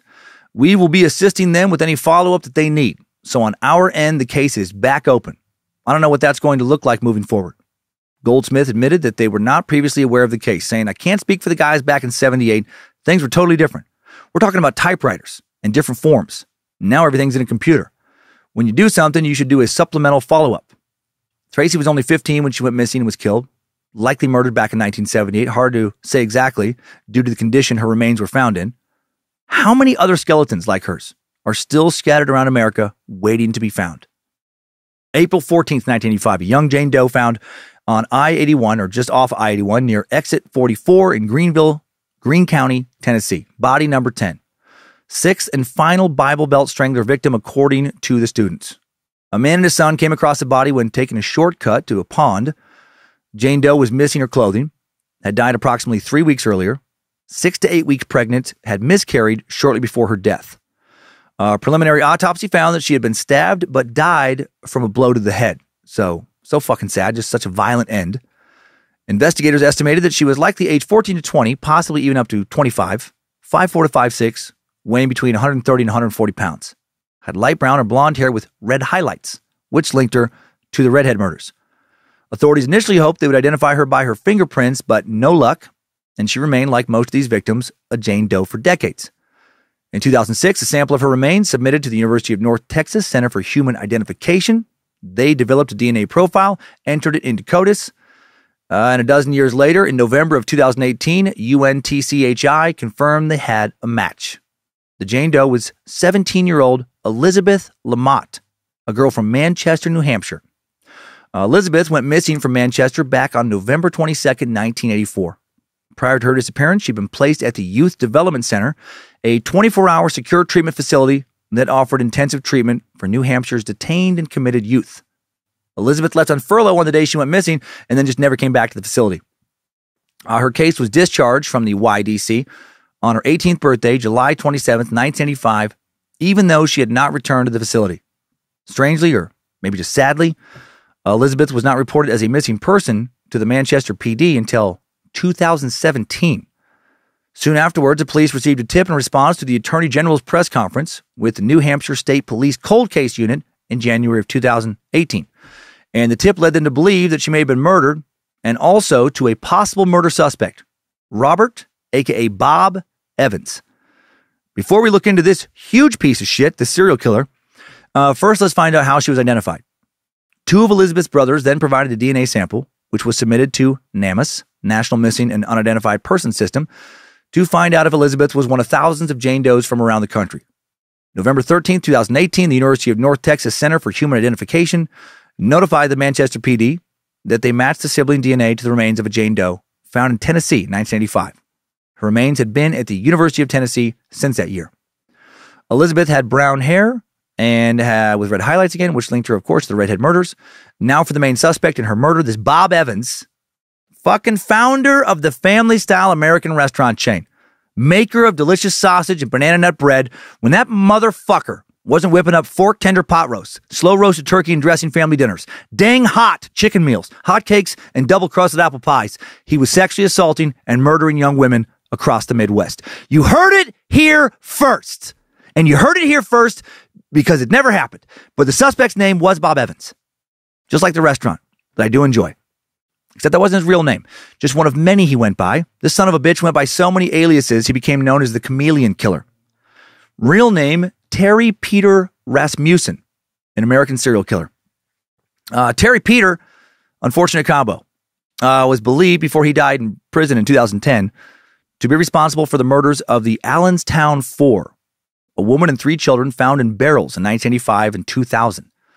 DNA evidence would connect him to these killings in 2017.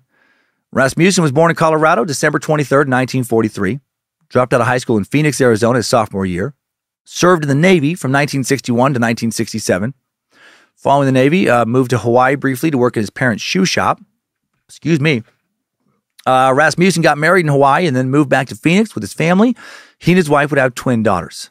The family would soon move to California, then back to Phoenix, and shortly thereafter, the arrest began. Rasmussen was arrested for aggravated assault in April of 1973. Uh, uh, April 30th, 1973, he was arrested in Phoenix on a fugitive from justice charge. June of 75, arrested a second time for aggravated assault, and his wife left him shortly after he was arrested, and he would be a absentee dad shortly thereafter. December of 1975, of 1975 Rasmussen visited his now ex-wife and kids, unannounced in Payson, Arizona. He was accompanied by an unidentified woman, said he was living in the Casa del Rey apartments in Ingleside, Texas, and then his family would never see him again after that visit. Around this time, Rasmussen became involved with a woman named Marlise Elizabeth Honeychurch, a divorced mother of two. Marlise might have been the woman who was with him in Payson. Uh, Marlise was born in Connecticut in 1954. Her first daughter, Marie Elizabeth Vaughn, born in 1971, and her second daughter, Sarah Lynn McWaters, born in 1977. Marlise was last seen by her family during Thanksgiving 1978 at her mom's house in La Puente, California. She introduced her family to Rasmussen, who reportedly used his real name at that time when he met him. Marlise got into some kind of heated argument with her mom during the visit, left with their kids and Rasmussen, and was never seen again. Marlise's sister, Paula Hodges, doesn't remember the argument, but told ABC 2020 decades later, My mom might have said something to her as, He's too old for you. Why are you with him? She went with Terry. They left, never called, never contacted nobody, just disappeared. Marlise was only 24 when she went missing. Rasmussen was 35. And the police believe she died a couple years later when she was 26 or 27. Authorities believe uh, Marie was 8 to 10 years old when she died, and Sarah was just 2 to 3 years old when she died, the, the daughters there. They were missing persons for many years before being finally identified. In 1978 or 1979, Rasmussen started to use the name Bob Evans to work as an electrician. In January of 1980, uh, Elizabeth Evans, a woman who has never been identified, signed a certified letter in Manchester, New Hampshire. Terry Rasmussen was associated with her uh, as far as address. Now, this Elizabeth was likely not Elizabeth Lamotte from Manchester, the woman associated with the Redhead murders, because she would have only been 13 or 14 here. Possible, but very unlikely. Uh, could have been Marlise Elizabeth Honeychurch, though. Probably was. February of 1980, Rasmussen was arrested in Manchester for issuing a bad check. He used the name Robert T. Evans, said his wife was Elizabeth Evans. A few months later in May, he was arrested in Manchester for theft of services. Used the name Bob Evans again. Still listed his, uh, listed his wife as Elizabeth. But in October, when he was arrested for illegally diverting electrical current, Bob Evans did not list a spouse on his arrest report. November of 1981, Rasmussen and his new girlfriend, 23 year old Denise Beaudin, a woman from Manchester, uh, went missing just after Thanksgiving along with Denise's six month old daughter. Denise, never been seen since. More on her daughter in a bit. Rasmussen showed up again in 1984 as an employee at an electrical company in Los Alamitos, California.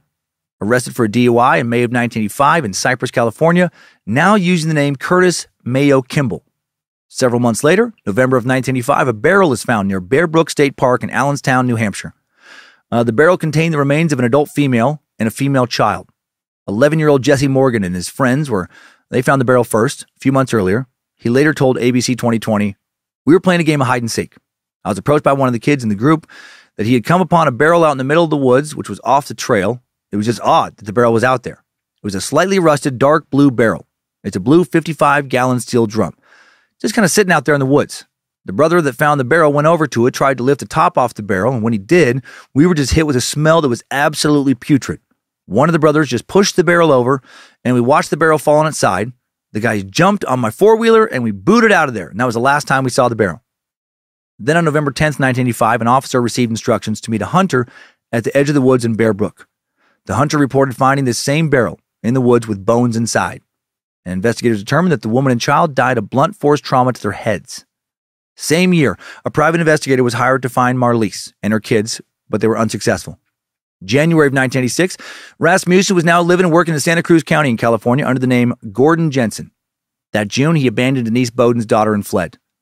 Rasmussen had claimed that, quote, Lisa was his biological daughter, and Lisa was taken into protective custody in 1986 after a failed adoption attempt between Rasmussen and a California couple. So this fucker tried to make some money selling the baby whose mom he had murdered.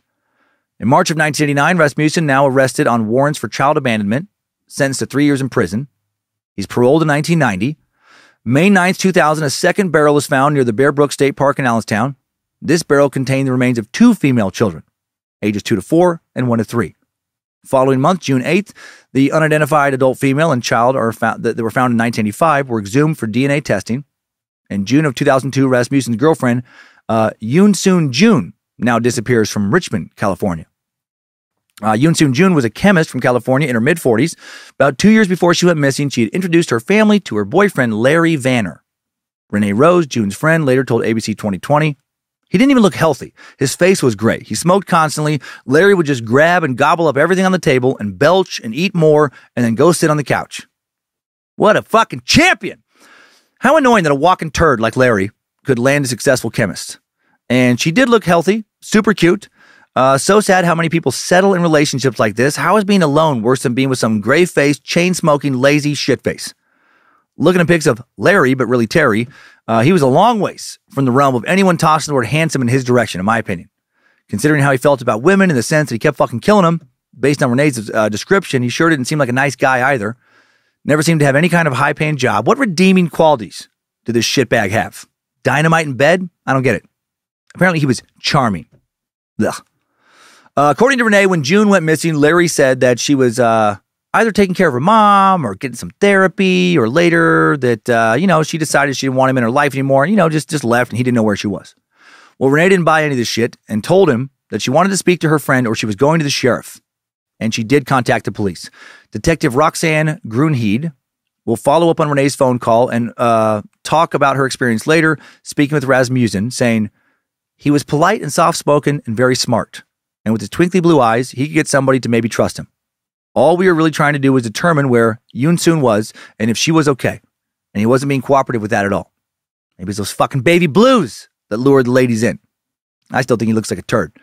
Uh, when the police soon searched Larry Vanner's home in California, Gruenheid and another detective found a massive pile of cat litter in a crawl space, like four to five feet around, about three feet high. Uh, there was also an axe in the crawl space. They started digging into the litter, and then pretty soon they find a mummified human foot. And uh, you know, then they uh, they left. Nothing to see there. They just figured the cat had pooped it out. You know, most of the time cats eat cat food. Everyone knows that, and they uh, poop out little cat turds. Sometimes big cats swallow human feet whole and poop it out in the same way. You know how it is. No, of course they didn't think that. Uh, they thought they found the foot of a murder victim, and they had. And then they found the rest of the body. The body was identified as Yoon Soon Jun. She had died of blunt force trauma to the head. Detective Gruenheid confirmed that a man matching Larry Vanner's description purchased 10 bags of cat litter from a pet store. So he looks a wee bit guilty. And then he's arrested in November of 2002. In June of 2003, he's sentenced to 15 years to life after pleading guilty to Jun's murder.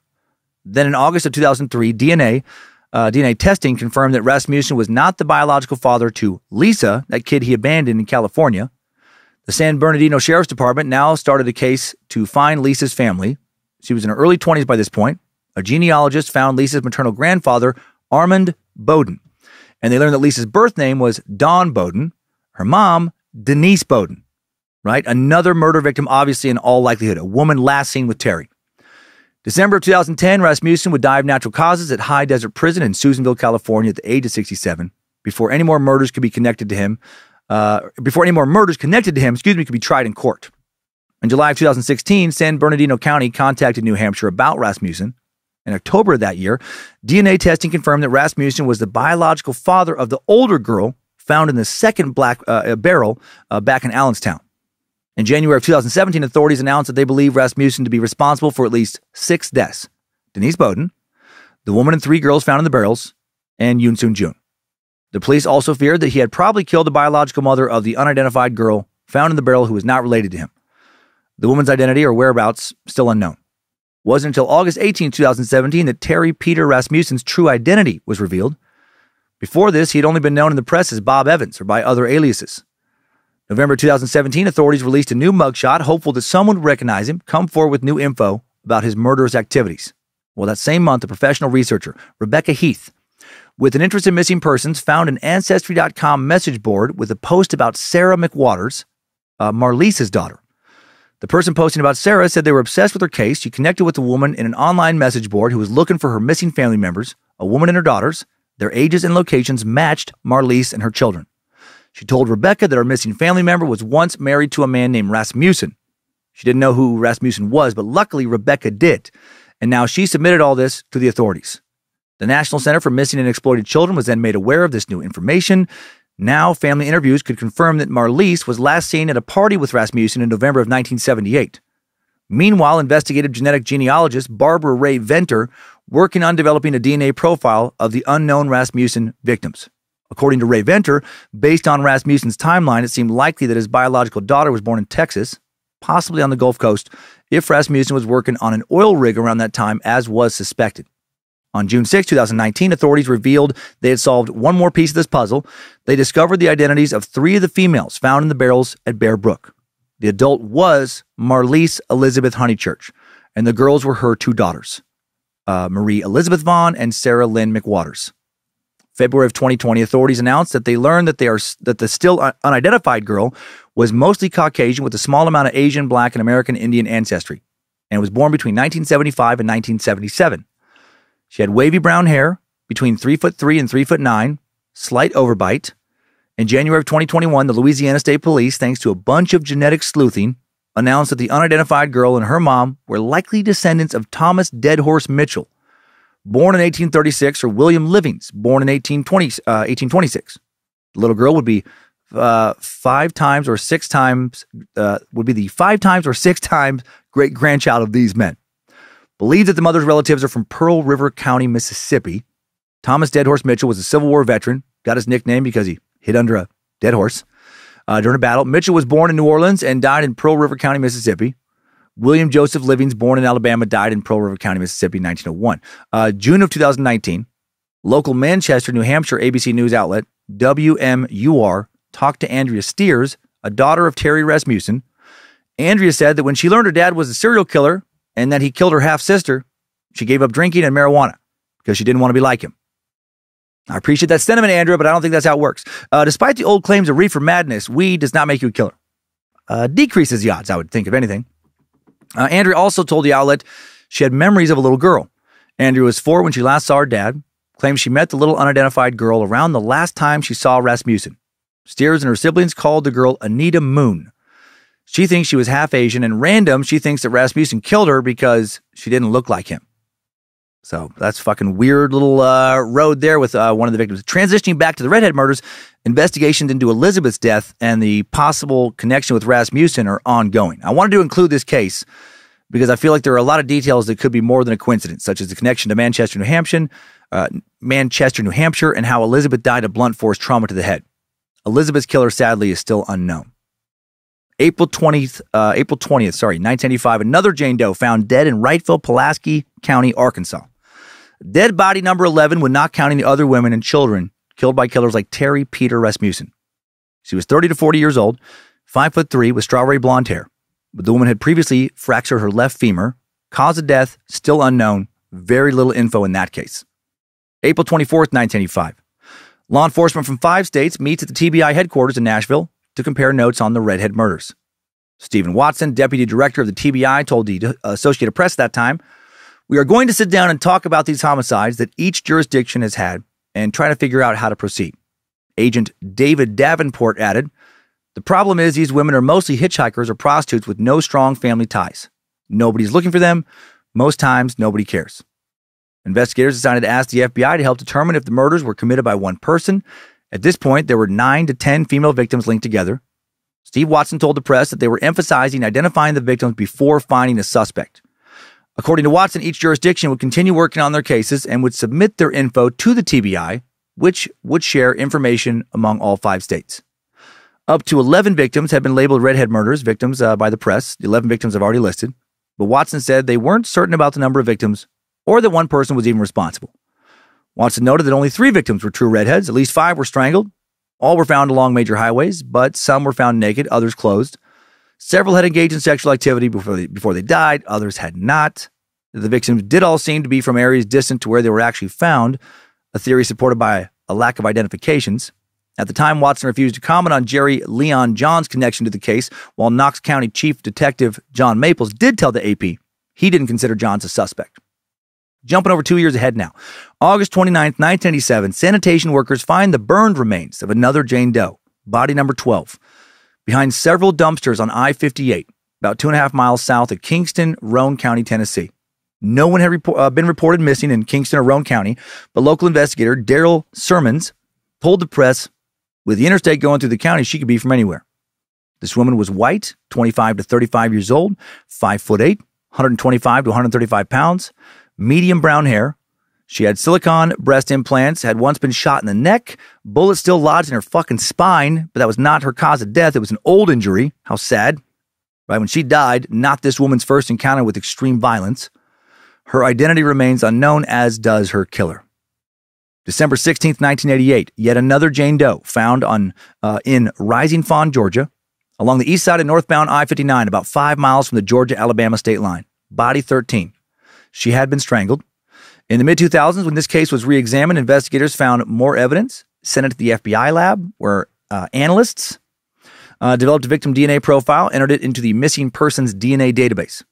2015, the case was re examined again. Now, a Georgia Bureau of Investigation forensic artist did new clay renderings and composites for an age progression.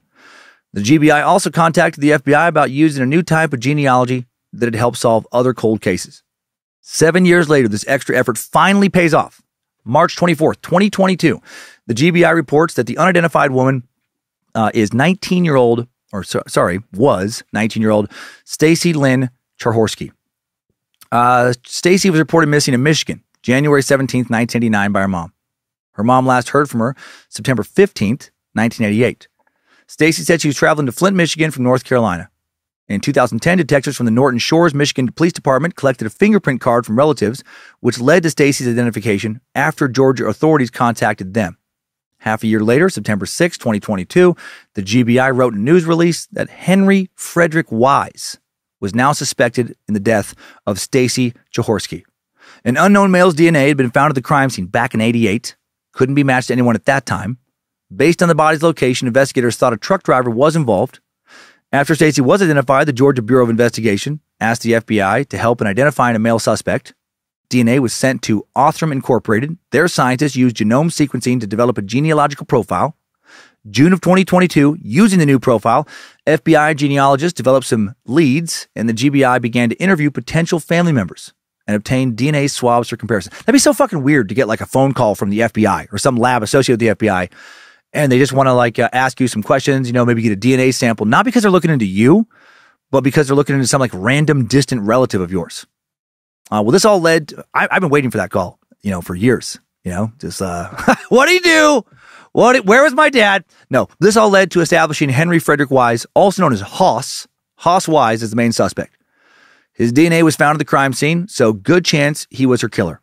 Well, Hoss had a criminal record in Florida, Georgia, and North Carolina for theft, assault, and obstruction of police uh, and obstruction of a police officer. I found a picture of Hoss online, and he did look like a dude known as Hoss. Uh, looks like a character out of the uh, original Dukes of Hazzard, like Bo and Luke Duke's mechanic buddy Cooter Davenport's underling or something. Like he, like he worked at the local scrapyard where Cooter got his spare parts. Maybe uh, sometimes did some dirt from Boss Hogg. Well, Hoss would have been 34 years old in 1988. He was a truck driver for a North Carolina trucking company, so that fits. Often drove from Chattanooga to Birmingham to Nashville. Also was a stunt driver. I fucking knew he looked like a Dukes of Hazzard character. Right? I thought the uh, Dukes of Hazzard shit before I knew about the stunt driving. In May of 1999, while trying to pull off a stunt, this fucker burned to death after his car caught on fire at the Myrtle Beach Speedway in Myrtle Beach, South Carolina, when he was 43. So, you know, sucks that they uh, weren't able to put him in prison for the murder, but uh, pretty cool that he burned alive. Backing up now to the murder timeline. May 7th, 1990, another Jane Doe found in Maysville, Arkansas, off Highway 102 near the Oklahoma and Missouri state lines. Body number 14. She will only be known as the Benton County Jane Doe for over three decades. Several bones and what looked like a shot uh, looked like shotgun wadding found at the crime scene. Number four buckshot pellets found under the victim's skull. A neighbor reported seeing a fire in the area back in February, but they uh, never checked it out because they thought it was just someone burning trash. Investigators believe that someone ran over the victim or the bone to try and make identification difficult or impossible, and that the victim was set on fire after she was shot. My God. Uh, there were not enough remains left for a reconstruction. Victim believed to be between 25, 35 years old, between 5'6 and 5'10. Over 32 years later, October 25th, 2022, the Benton County Sheriff's Office held a media conference to announce they had recently identified multiple homicide victims through genetic sleuthing, one of whom was 28 year old Donna Sue Nelton, found dead in May of 1990. Evidence submitted to the Arkansas Crime Lab in February of 1995, or was submitted then, but they didn't have uh, enough, uh, you know, technology to identify her at the time. Uh, 13 years later, her remains sent to the University of North Texas, October 2008, mitochondrial DNA profile created, submitted to NamUs, uh, that National Missing and Unidentified Person System we mentioned. Case review was completed in 2017. Then in March of 2021, authorities met with Othram Incorporated. Company had developed a DNA profile and identified one of Donna's distant relatives. On August 13th, 2022, the police contacted the relative. They didn't know about a missing family member, but they did give a family history and names of other relatives. Two weeks later, the authorities find a relative who confirmed that a family member did go missing. They collected DNA to compare to uh, the Jane Doe, and it was a positive match. Donna Sue Nelton, last seen in the fall of 89. Following her disappearance, authorities investigated her boyfriend, George Alvin Bruton, for various offenses. Uh, Bruton had a serious criminal record, or Bruton, perhaps. Uh, B R U T O N. But Bruton was captured in Fort Smith, Arkansas, December 14, 1979, was wounded while trying to elude an FBI stakeout at his house. FBI agents shot at him, seriously wounded him, after he hit an FBI vehicle with his truck and also shot at an agent. Bruton was wanted at the time for two murders in Kansas City, Missouri, and for taking two hostages and also wounding two officers in Utah. Oh, and Bruton was also wanted in connection with a 1965 bank robbery and a 1975 grocery store robbery. He was actually uh, one of the FBI's 10 most wanted. This fucker, before all this, had already spent six years in the U.S. Penitentiary in Fort Leavenworth, Kansas, for concealing explosives and possession of an unregistered firearm. He and another inmate named Stephen Scott Pannell broke out of Leavenworth. He took hostages at a home in Utah in December of 1978, escaped after a fucking gunfight. Pannell captured a few days later. He wasn't. Moved to Kansas City, where he would live with a prison associate, 39 year old Michael Walker, and his girlfriend, 20 year old Lisa Holmes. Lisa and Michael then vanished, last seen leaving their apartment February 9th, 1979. Lisa was from Folly Beach, South Carolina. She was reported missing after she left a family wedding in Charleston to go back to Kansas City. Told her family she was only staying long enough to get her things. And then, of course, uh, they don't see her again. February 27th, Michael Walker was found fatally shot in his vehicle in an apartment complex parking lot. March 10th, 1979, a woman's body found wrapped in a red blanket, dressed in a nightgown in a shallow creek in a sparsely populated area in Jackson County south of US Highway 40. The body had been dumped from a bridge. Her hands had been tied behind her back. Her cause of death, likely strangulation. And she was identified as Lisa Holmes by her family on March 11th. The police connected Lisa and Michael to a group of people associated with burglaries and professional shoplifting. Somehow, after all, after all this, George Alvin Bruton uh, only gets sentenced to 10 fucking years in prison. He would only plead guilty to assaulting a federal officer with a deadly weapon and possession of firearms by a convicted felon. He seems to have cut some kind of deal with prosecutors. The exact details hard to find. Seems likely to me, maybe just because uh, I have last week's Irish mob information in my mind, that he ratted on other criminals more important to the FBI. Maybe they didn't have enough evidence to prove he killed Michael Walker and Lisa Holmes, never charged for breaking out of Leavenworth, taking hostages, wounding two officers in Utah. It's fucking weird. He had to have given the feds some good shit. Uh, anyway, after all this, he's paroled in 1988. By July of the following year, he's under investigation for more various crimes. Then in September of 89, he and associate, or, uh, an associate are seen disposing black trash bags into a dumpster in Kansas City. The FBI obtained these bags, found Donna Sue's personal items inside. Her vehicle was found later in a storage unit used by Bruton. How the fuck was he still not arrested for her murder? But he wasn't. He was arrested for parole violation August 6, 1990, indicted on drug charges, then identified as the leader of a multi state drug ring. And then in July of 1990, a source told a federal agent that Bruton mentioned killing a woman named Donna because of her threats to expose his involvement in organized crime. This dude might have had some mob connections. Uh, Bruton was finally sentenced to life in prison, died in prison in 2008. He was 66. So Donna Sue Nelden, another woman he possibly killed that he was never charged for, is the last victim currently associated with the redhead murders. Sounds like we know who her killer was. Uh, the third woman, we have a pretty good idea uh, of regarding who killed him. But the 11 others, no idea really. Maybe Terry Peder Rasmussen in one murder, maybe not. No clue in 10 of the 14 murders, but with the continual advances in forensic science, who knows? And that is it for this timeline. Good job, soldier. You've made it back. Barely.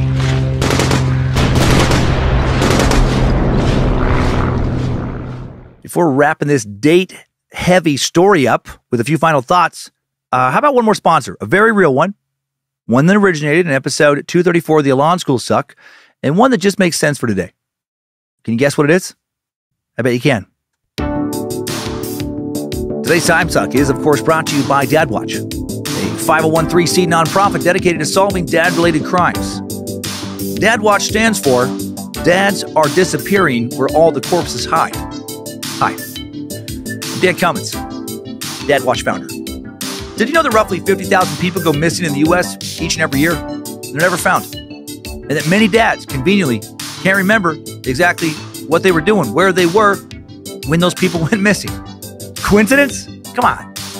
We here at Dad Watch don't think so. The majority of the redhead and Bible Belt strangler murders have no known suspects, but you can bet your sweet ass that all of the murderers are dads.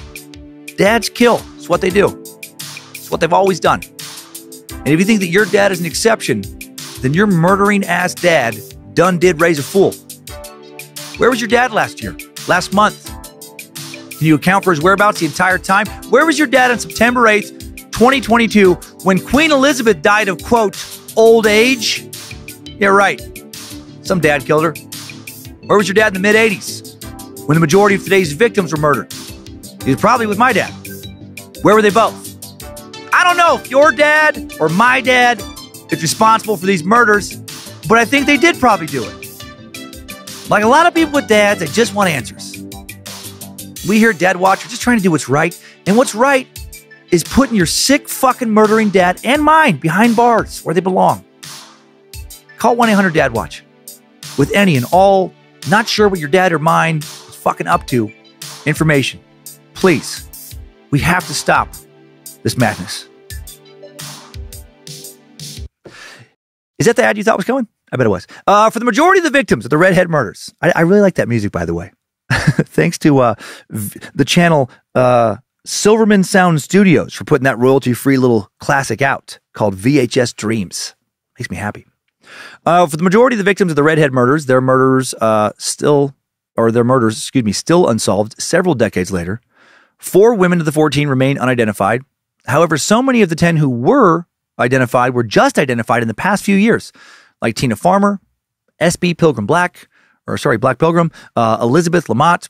And that gives me hope that the identity of the four other women will also be revealed. It's getting harder and harder to get rid of the evidence of a murder, to just make someone disappear thanks to continual advancements in forensic investigative technology. Getting harder and harder to be a serial killer. I love it. I would love to run out of serial killers to talk about, make it a thing of the past. I don't think that'll ever happen, not in my lifetime at least, but it's fun to think about. Investigators hope that by continuing to talk about the redhead murders, continuing to appeal to the public for more information, perhaps one day someone will come forward and the remaining Jane Doe cases can finally be solved. Who killed them? Uh, definitely more than one man. Hope we can catch at least uh, one of these assholes before they before they die, like the other suspects. You know, let at least one of these dudes, even if it's probably my dad, uh, spend their final golden years in a cell. I gotta figure what kind of isotope stuff my dad has inside of him. I feel like he has a lot of Hungry Man TV dinner and gas station donut and coffee isotopes. Maybe a bunch of apple pie isotopes, a lot of chewable Tums isotopes, quite a few vanilla ice cream isotopes. Not sure how, uh, you know, or not sure how y'all will be able to figure out how, the, how these isotopes can him to some of the murders he probably committed, but getting his isotopes certainly can't hurt anything. That settles it. I'm going to demand that he hand me over his fucking isotopes next time I see him. Enough's enough. Now let's head to today's takeaways. I got nothing else. Time Suck Top 5 Takeaways.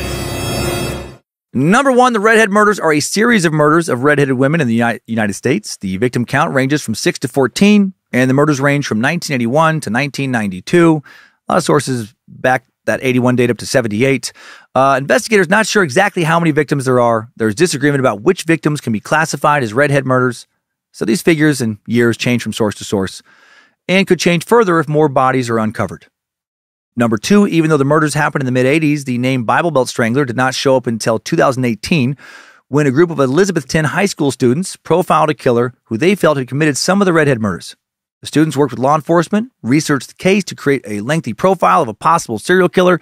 They believed he was or is a trucker, uh, a trucker. Well, actually, they believed he was a trucker who traveled throughout the South, and they named him the Bible Belt Strangler because of the location of the murders and the strangulation MO. Number three, the strongest suspect in the redhead murders is still Jerry Leon Johns, at least for some of them. He seems to have for sure killed one of the victims, Tina Farmer. In 1987, Johns was convicted of felonious assault, aggravated kidnapping against a woman in Tennessee. In 2019, he was posthumously uh, posthumously uh, indicted by a grand jury in the murder of Tina Farmer. The similarities between the two cases suggest they were committed by the same person. One victim's brave testimony got Johns incarcerated for the rest of his life, but then he died in prison before he could be prosecuted for Tina's murder. Number four, in 1985, investigators met to compare notes on the redhead murders cases. They determined that some cases were connected, others weren't. All agreed to share info with each other, but the meeting was largely unproductive. They did not identify a killer or make significant progress in connecting or identifying victims. This was the only large meeting amongst law enforcement in the redhead murders case. Investigators just had too many factors working against them to be able to solve these cases. And number five, new info. Let's talk about another serial killer truck driver who killed in the same area where these women were found. Bruce D. Mendenhall is an American serial killer who was arrested in Tennessee in July of 2007. Mendenhall was born in 1951, grew up in Illinois, married, had two children, and was a long haul trucker. On June 26, 2007, Mendenhall murdered a woman named Sarah Hulbert. On July 12, 2007, um, Mendenhall was arrested at the TA truck stop on I 24 in Nashville, Tennessee, after a detective spotted a truck that matched a truck captured by surveillance footage on the night Sarah Hulbert was murdered at the same truck stop. Inside the truck, the detective found bloody clothing, identification, and personal items of another woman from Indianapolis who had gone missing the day before. There were also blood spots inside the cabin on Mendenhall's hands. Inside the truck, the police found a rifle, knives, handcuffs, latex gloves, weapons cartridges, tape, a nightstick, and a bunch of sex toys. These items contained the DNA of five different women. Mendenhall's victims were mostly young sex workers. He implicated himself in the murder of both Sarah Hulbert and Samantha Winters, who was found in a trash can at a truck stop in Lebanon, Tennessee, June 6, 2007. In August 2007, Mendenhall was indicted for the murder of Samantha Winters and later convicted and sentenced to life in prison. After Mendenhall's arrest, he was investigated for up to seven additional murders, suspected of more. Other departments were looking into his connection with their cases since he spent 18 years driving across the country. On April 10, 2008, Mendenhall was charged with the murder of Carmen Purpura. Uh, DNA testing linked the blood inside the truck cab to Carmen's parents. Investigators also found her phone, ATM card, and clothing still inside Mendenhall's truck. His fucking trophy's a sick fuck. She was reported missing in 2007, last seen at a truck stop in Indianapolis, July 11, 2007. Mendenhall was arrested the next day. Uh, he was being questioned after his arrest. He gave info about six murders in Indiana, Tennessee, Alabama, and Georgia told the Nashville police that he killed a woman he picked up at a truck stop in Indy the day before, dumped her body in a trash can on Harding Street. The police found the trash can, but no body inside. Carmen Purpura's remains were later found along uh, the Louis B. Nunn Parkway in Barren County, Kentucky, August 15th, 2011. On July 28, 2010, the Birmingham police now charged Mendenhall with the murder of Lucille Greta Carter, also. Found naked in a trash can with a plastic bag taped over her head in 2007. She'd been shot with a 22 caliber weapon. Finally, in October of 2021, Mendenhall transferred from Tennessee to Marion County, Indiana, to be prosecuted for the murder of Carmen Purpura. Could this guy have killed some of the redhead murder victims? Some of the Bible Belt strangler victims? I mean, he's the right age, born between 1936 1962, right occupation, right size, able to form stable relationships, worked in the right area, definitely a killer. Guessing they've already ran his DNA to see if it matches anything from the crime scenes we went over, and if not, eh, they probably should. Time Suck Top 5 Takeaways.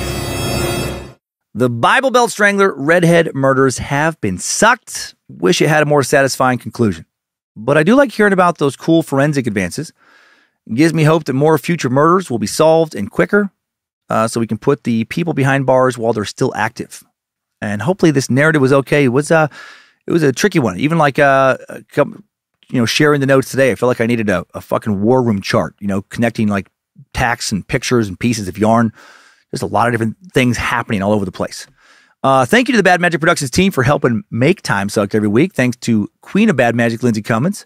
Thanks to, uh, I believe it's Mr. Logan Keith producing today, the Art Warlock, and uh, doing some the directing. And thanks to Tyler C for the production. Thanks to Bit Elixir for upkeep on the Time Suck app. The Art, War- the Art Warlock again for creating the merch at badmagicmerch.com and for helping run our socials along with the Suck Ranger and a team led by social media strategist Ryan Handelsman and currently managed by Emily Licardi. Thanks to producer Olivia Lee for the initial research this week. And thanks to the All Seeing Eyes moderating the Cult of the Curious private Facebook page, the Mod Squad for making sure Discord keeps running smooth, everyone over on the Time Sucks subreddit and the Bad Magic subreddit. I got a little Reddit notification the other day. Uh, yeah, thanks to uh, thanks to Bert Kreischer for saying some some nice things about me when interviewing Kelsey Cook recently. That was very very kind, unprompted. So I was, uh, and I guess uh, in the comments there was some other podcasters lately saying some stuff. So that's cool. Uh, and thanks to the many fantastic sacks doing so much within this community. Next week on Time Suck. I, sometimes I don't like to say that I'm excited for a serial killer suck, but I am. I'm morbidly excited uh, to talk about a serial killer that did get caught and one who may have been fucking doomed to become a serial killer more than any other killer we've covered so far. Terry Blair. Terry killed at least seven women in Kansas City. Of course he did. His mom killed his stepdad when he was 16. His brother killed a woman 16 months later. His sister helped kill a guy. And these aren't the only murderers in his family. And there are rapists and more, uh, you know, people committing crazy crimes. I've never come across a more fucking murderous family than Terry's family. The crazy ass story of Terry Blair, most murderous member of the very murdery Blair family, next week. And right now, let's head on over to this week's Time Sucker updates. Time sucker updates. First update coming in from superb sack Blake Byer, who wrote in with an email subject line of Philly Show Heroes. A little uh, addition to last week when I talked about how someone died but then was saved in my early show in the Fillmore, or at the Fillmore in, uh, in Philadelphia. I put San Francisco in my notes because there's also a Fillmore there. Uh, this was sent into Scared to Death, actually, but makes sense here. Blake writes, Hey, whoever's reading this, Lindsay, bad magician, intern, uh, tired of going through emails, so tired their eyes are bleeding, whatever. Uh, my wife and I were at the early show in Philly this weekend, had an absolute blast. The show was fantastic, and seeing you both in person was something we've been looking forward to for a long, long time. I'm glad Lindsay could be there. Uh, I'm writing to you because we were sitting only a few rows away from the medical emergency that paused the show. I was hoping you could give a cross platform shout out, not sure if or which show they listened to, to the people who helped save that man's life. We saw the entire event unfold, offered to get involved. However, the situation was being handled masterfully by several of your amazing fans, known to us only as Flannel Shirt Guy and Pink Hair Woman. These top shelf meat sacks immediately began CPR, continued until uh, emergency services arrived. It was quite a scary situation, but these heroes didn't hesitate to get involved and did eventually get him breathing again before being taken away. It was a powerful moment of selflessness and heroism that deserves some recognition. Oh, yeah, it sure fucking was. Well, not sure still who Flannel Shirt Guy was, but 99% sure Pink Hair Woman was Marlena Lesby. So hail Marlena. And glad you got to witness that heroism, Blake. So, uh, so incredible. Still hoping to hear how the guy who went into cardiac arrest is doing now. Well, now Blake adds, on a completely separate and optional note, my lovely, considerate, and selfless wife was kind enough to plan months ahead to give me a spoopy shout out in time for my birthday. Now, that's a scared to death thing. Uh, however, here we are three months past her birthday, and I'm just emailing you now. Shame, shame, I know. She's the absolute best.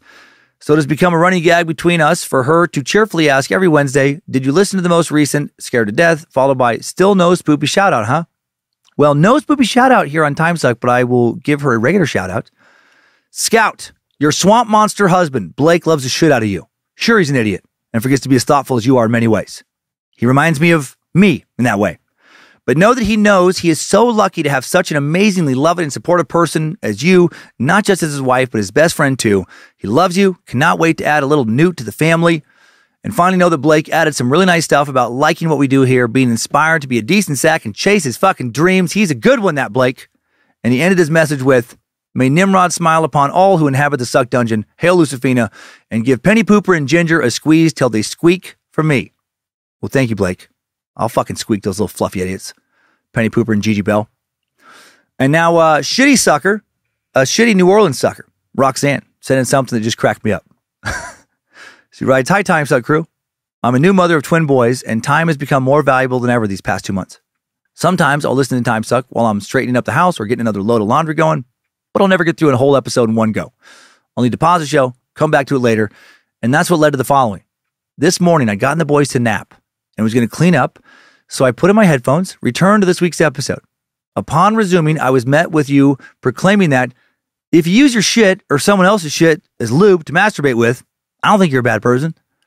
I was caught off guard and had to stifle my laughter so as not to wake the babies, my sweet infants, who are just trying to sleep while their mom listens to a crazy man discuss the morality of masturbating with feces. Thank you for making me question my entire existence and for starting my day off with lunacy and laughter. Roxanne in New Orleans. Well, Roxanne. Roxanne. First, I fucking love your name. It's one of my favorite names. Has been for a long time. Second, congrats on your twins. And also, you should get a medal or a trophy or something for giving birth to twins and raising them. Uh, third, lunacy and laughter are bread and butter.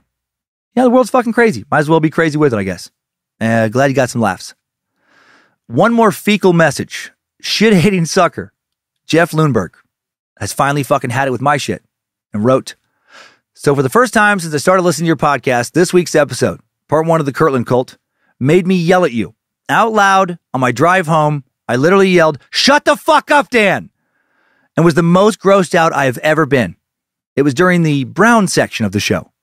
But I did giggle when you said you don't want to kink shame, but fuck that shit. And I said, yeah, that's what he likes. Sheesh. Love your shows, love your work. Hail the almighty fork chucker, Jeff. Well, I get it, Jeff. Uh, that two parter made me get up from my research and pace around saying stuff like, What the fuck? Why is this real? So many times. Jeff and Skidmark. What a special kind of insanity those two live together. Uh, now let me finish on another weird moment involving puppets. Swamp Sack. Ricky Galloway writes, Hey, mother sucker. I want to try to keep this brief. I can't thank you enough for making it down to New Orleans. My wife Katie and I are huge fans of your stand up, big fans of Time Suck. Past weekend, we got to attend your show in NOLA, had an absolute blast. We became instant friends with everyone around us. I fucking love that. And uh, even got free weed gummies in the process from our new generous friends. Uh, also, I know there were a considerable amount of fans, drunk or not, constantly chiming in during the set, but fuck, bud, your ability to steer the chaos was killer.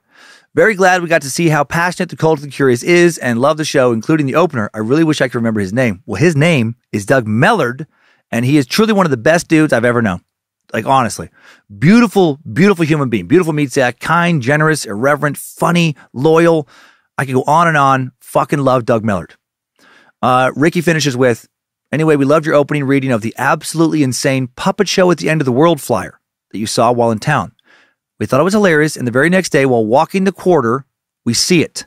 The very fucking flyer you mentioned that I honestly thought may have been a bit embellished, but there it was.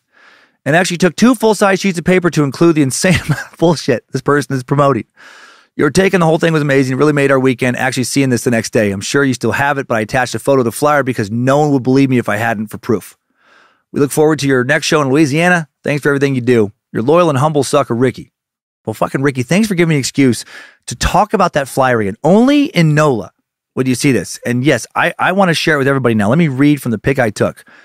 This was at a coffee show called the Orange Couch in the Marigny. If any of you listening are familiar with uh, New Orleans, and I, I truly love how artsy and creative and just fucking weird, let your freak flag fly uh, New Orleans culture is. It's what what makes it one of my favorite cities in the world. And I just I just died seeing this poster because it's like this is like there's lots of hand drawn stuff here. You know, it's not just typed out. Someone put a lot of TLC into making this uh, promotional flyer for their production, and it says puppet show casting call, looking for clowns and puppeteers for shows on April 13th to 17th. Maybe you can see it at the um, Happy Land Theater. This is posted by Nosepicka at Nosepicka on Instagram. That's how you can uh, contact to get involved, which is going to be too late as you hear this, but still, listen to the flyer, like the, the the synopsis for what this puppet show was. It says show blurb: A peaceful village is crushed under boulders to make way for a giant rock gym turned eco resort. Two startup bros enjoy the new age experience until their company goes under. They're forced to stay on as indentured work traders to pay off the hotel fees. Will they be converted to the shady wellness culture or join a, or join a resistance to toxic positivity? Fucking that is like so preposterously uber specific. Like pup, a puppet show first off is so fucking niche.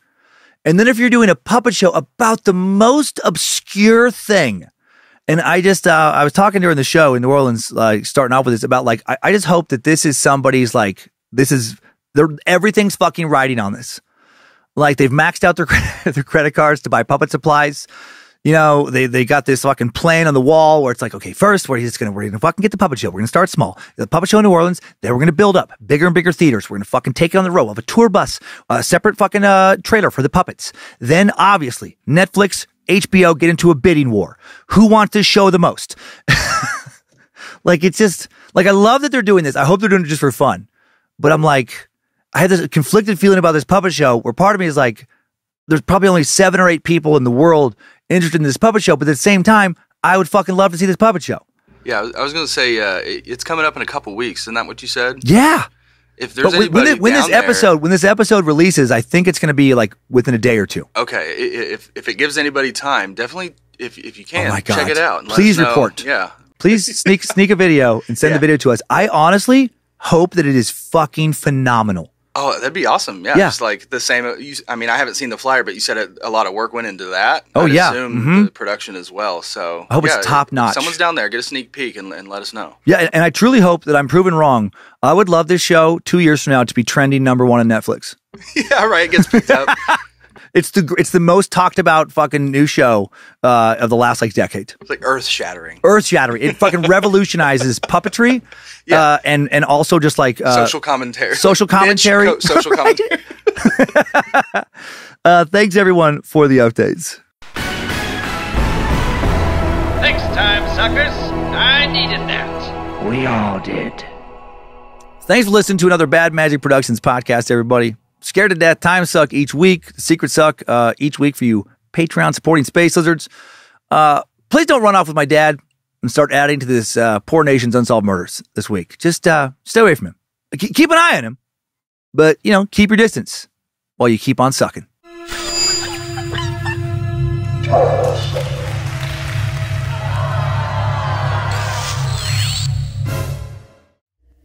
Bad Magic Productions. I haven't I haven't really uh, railed on my dad for a while uh, with that joke. I uh, he's mentioned it a few times in the past. I wonder if this is going to get back to him. There are some people in his circle that listen to the show, and I do wonder like, is he going to get sick of it? And how crazy would it be if he he's never murdered anybody, but I just this fucking makes him. This is I, yep, catalyst. I keep making fun of him. I keep making fun of him.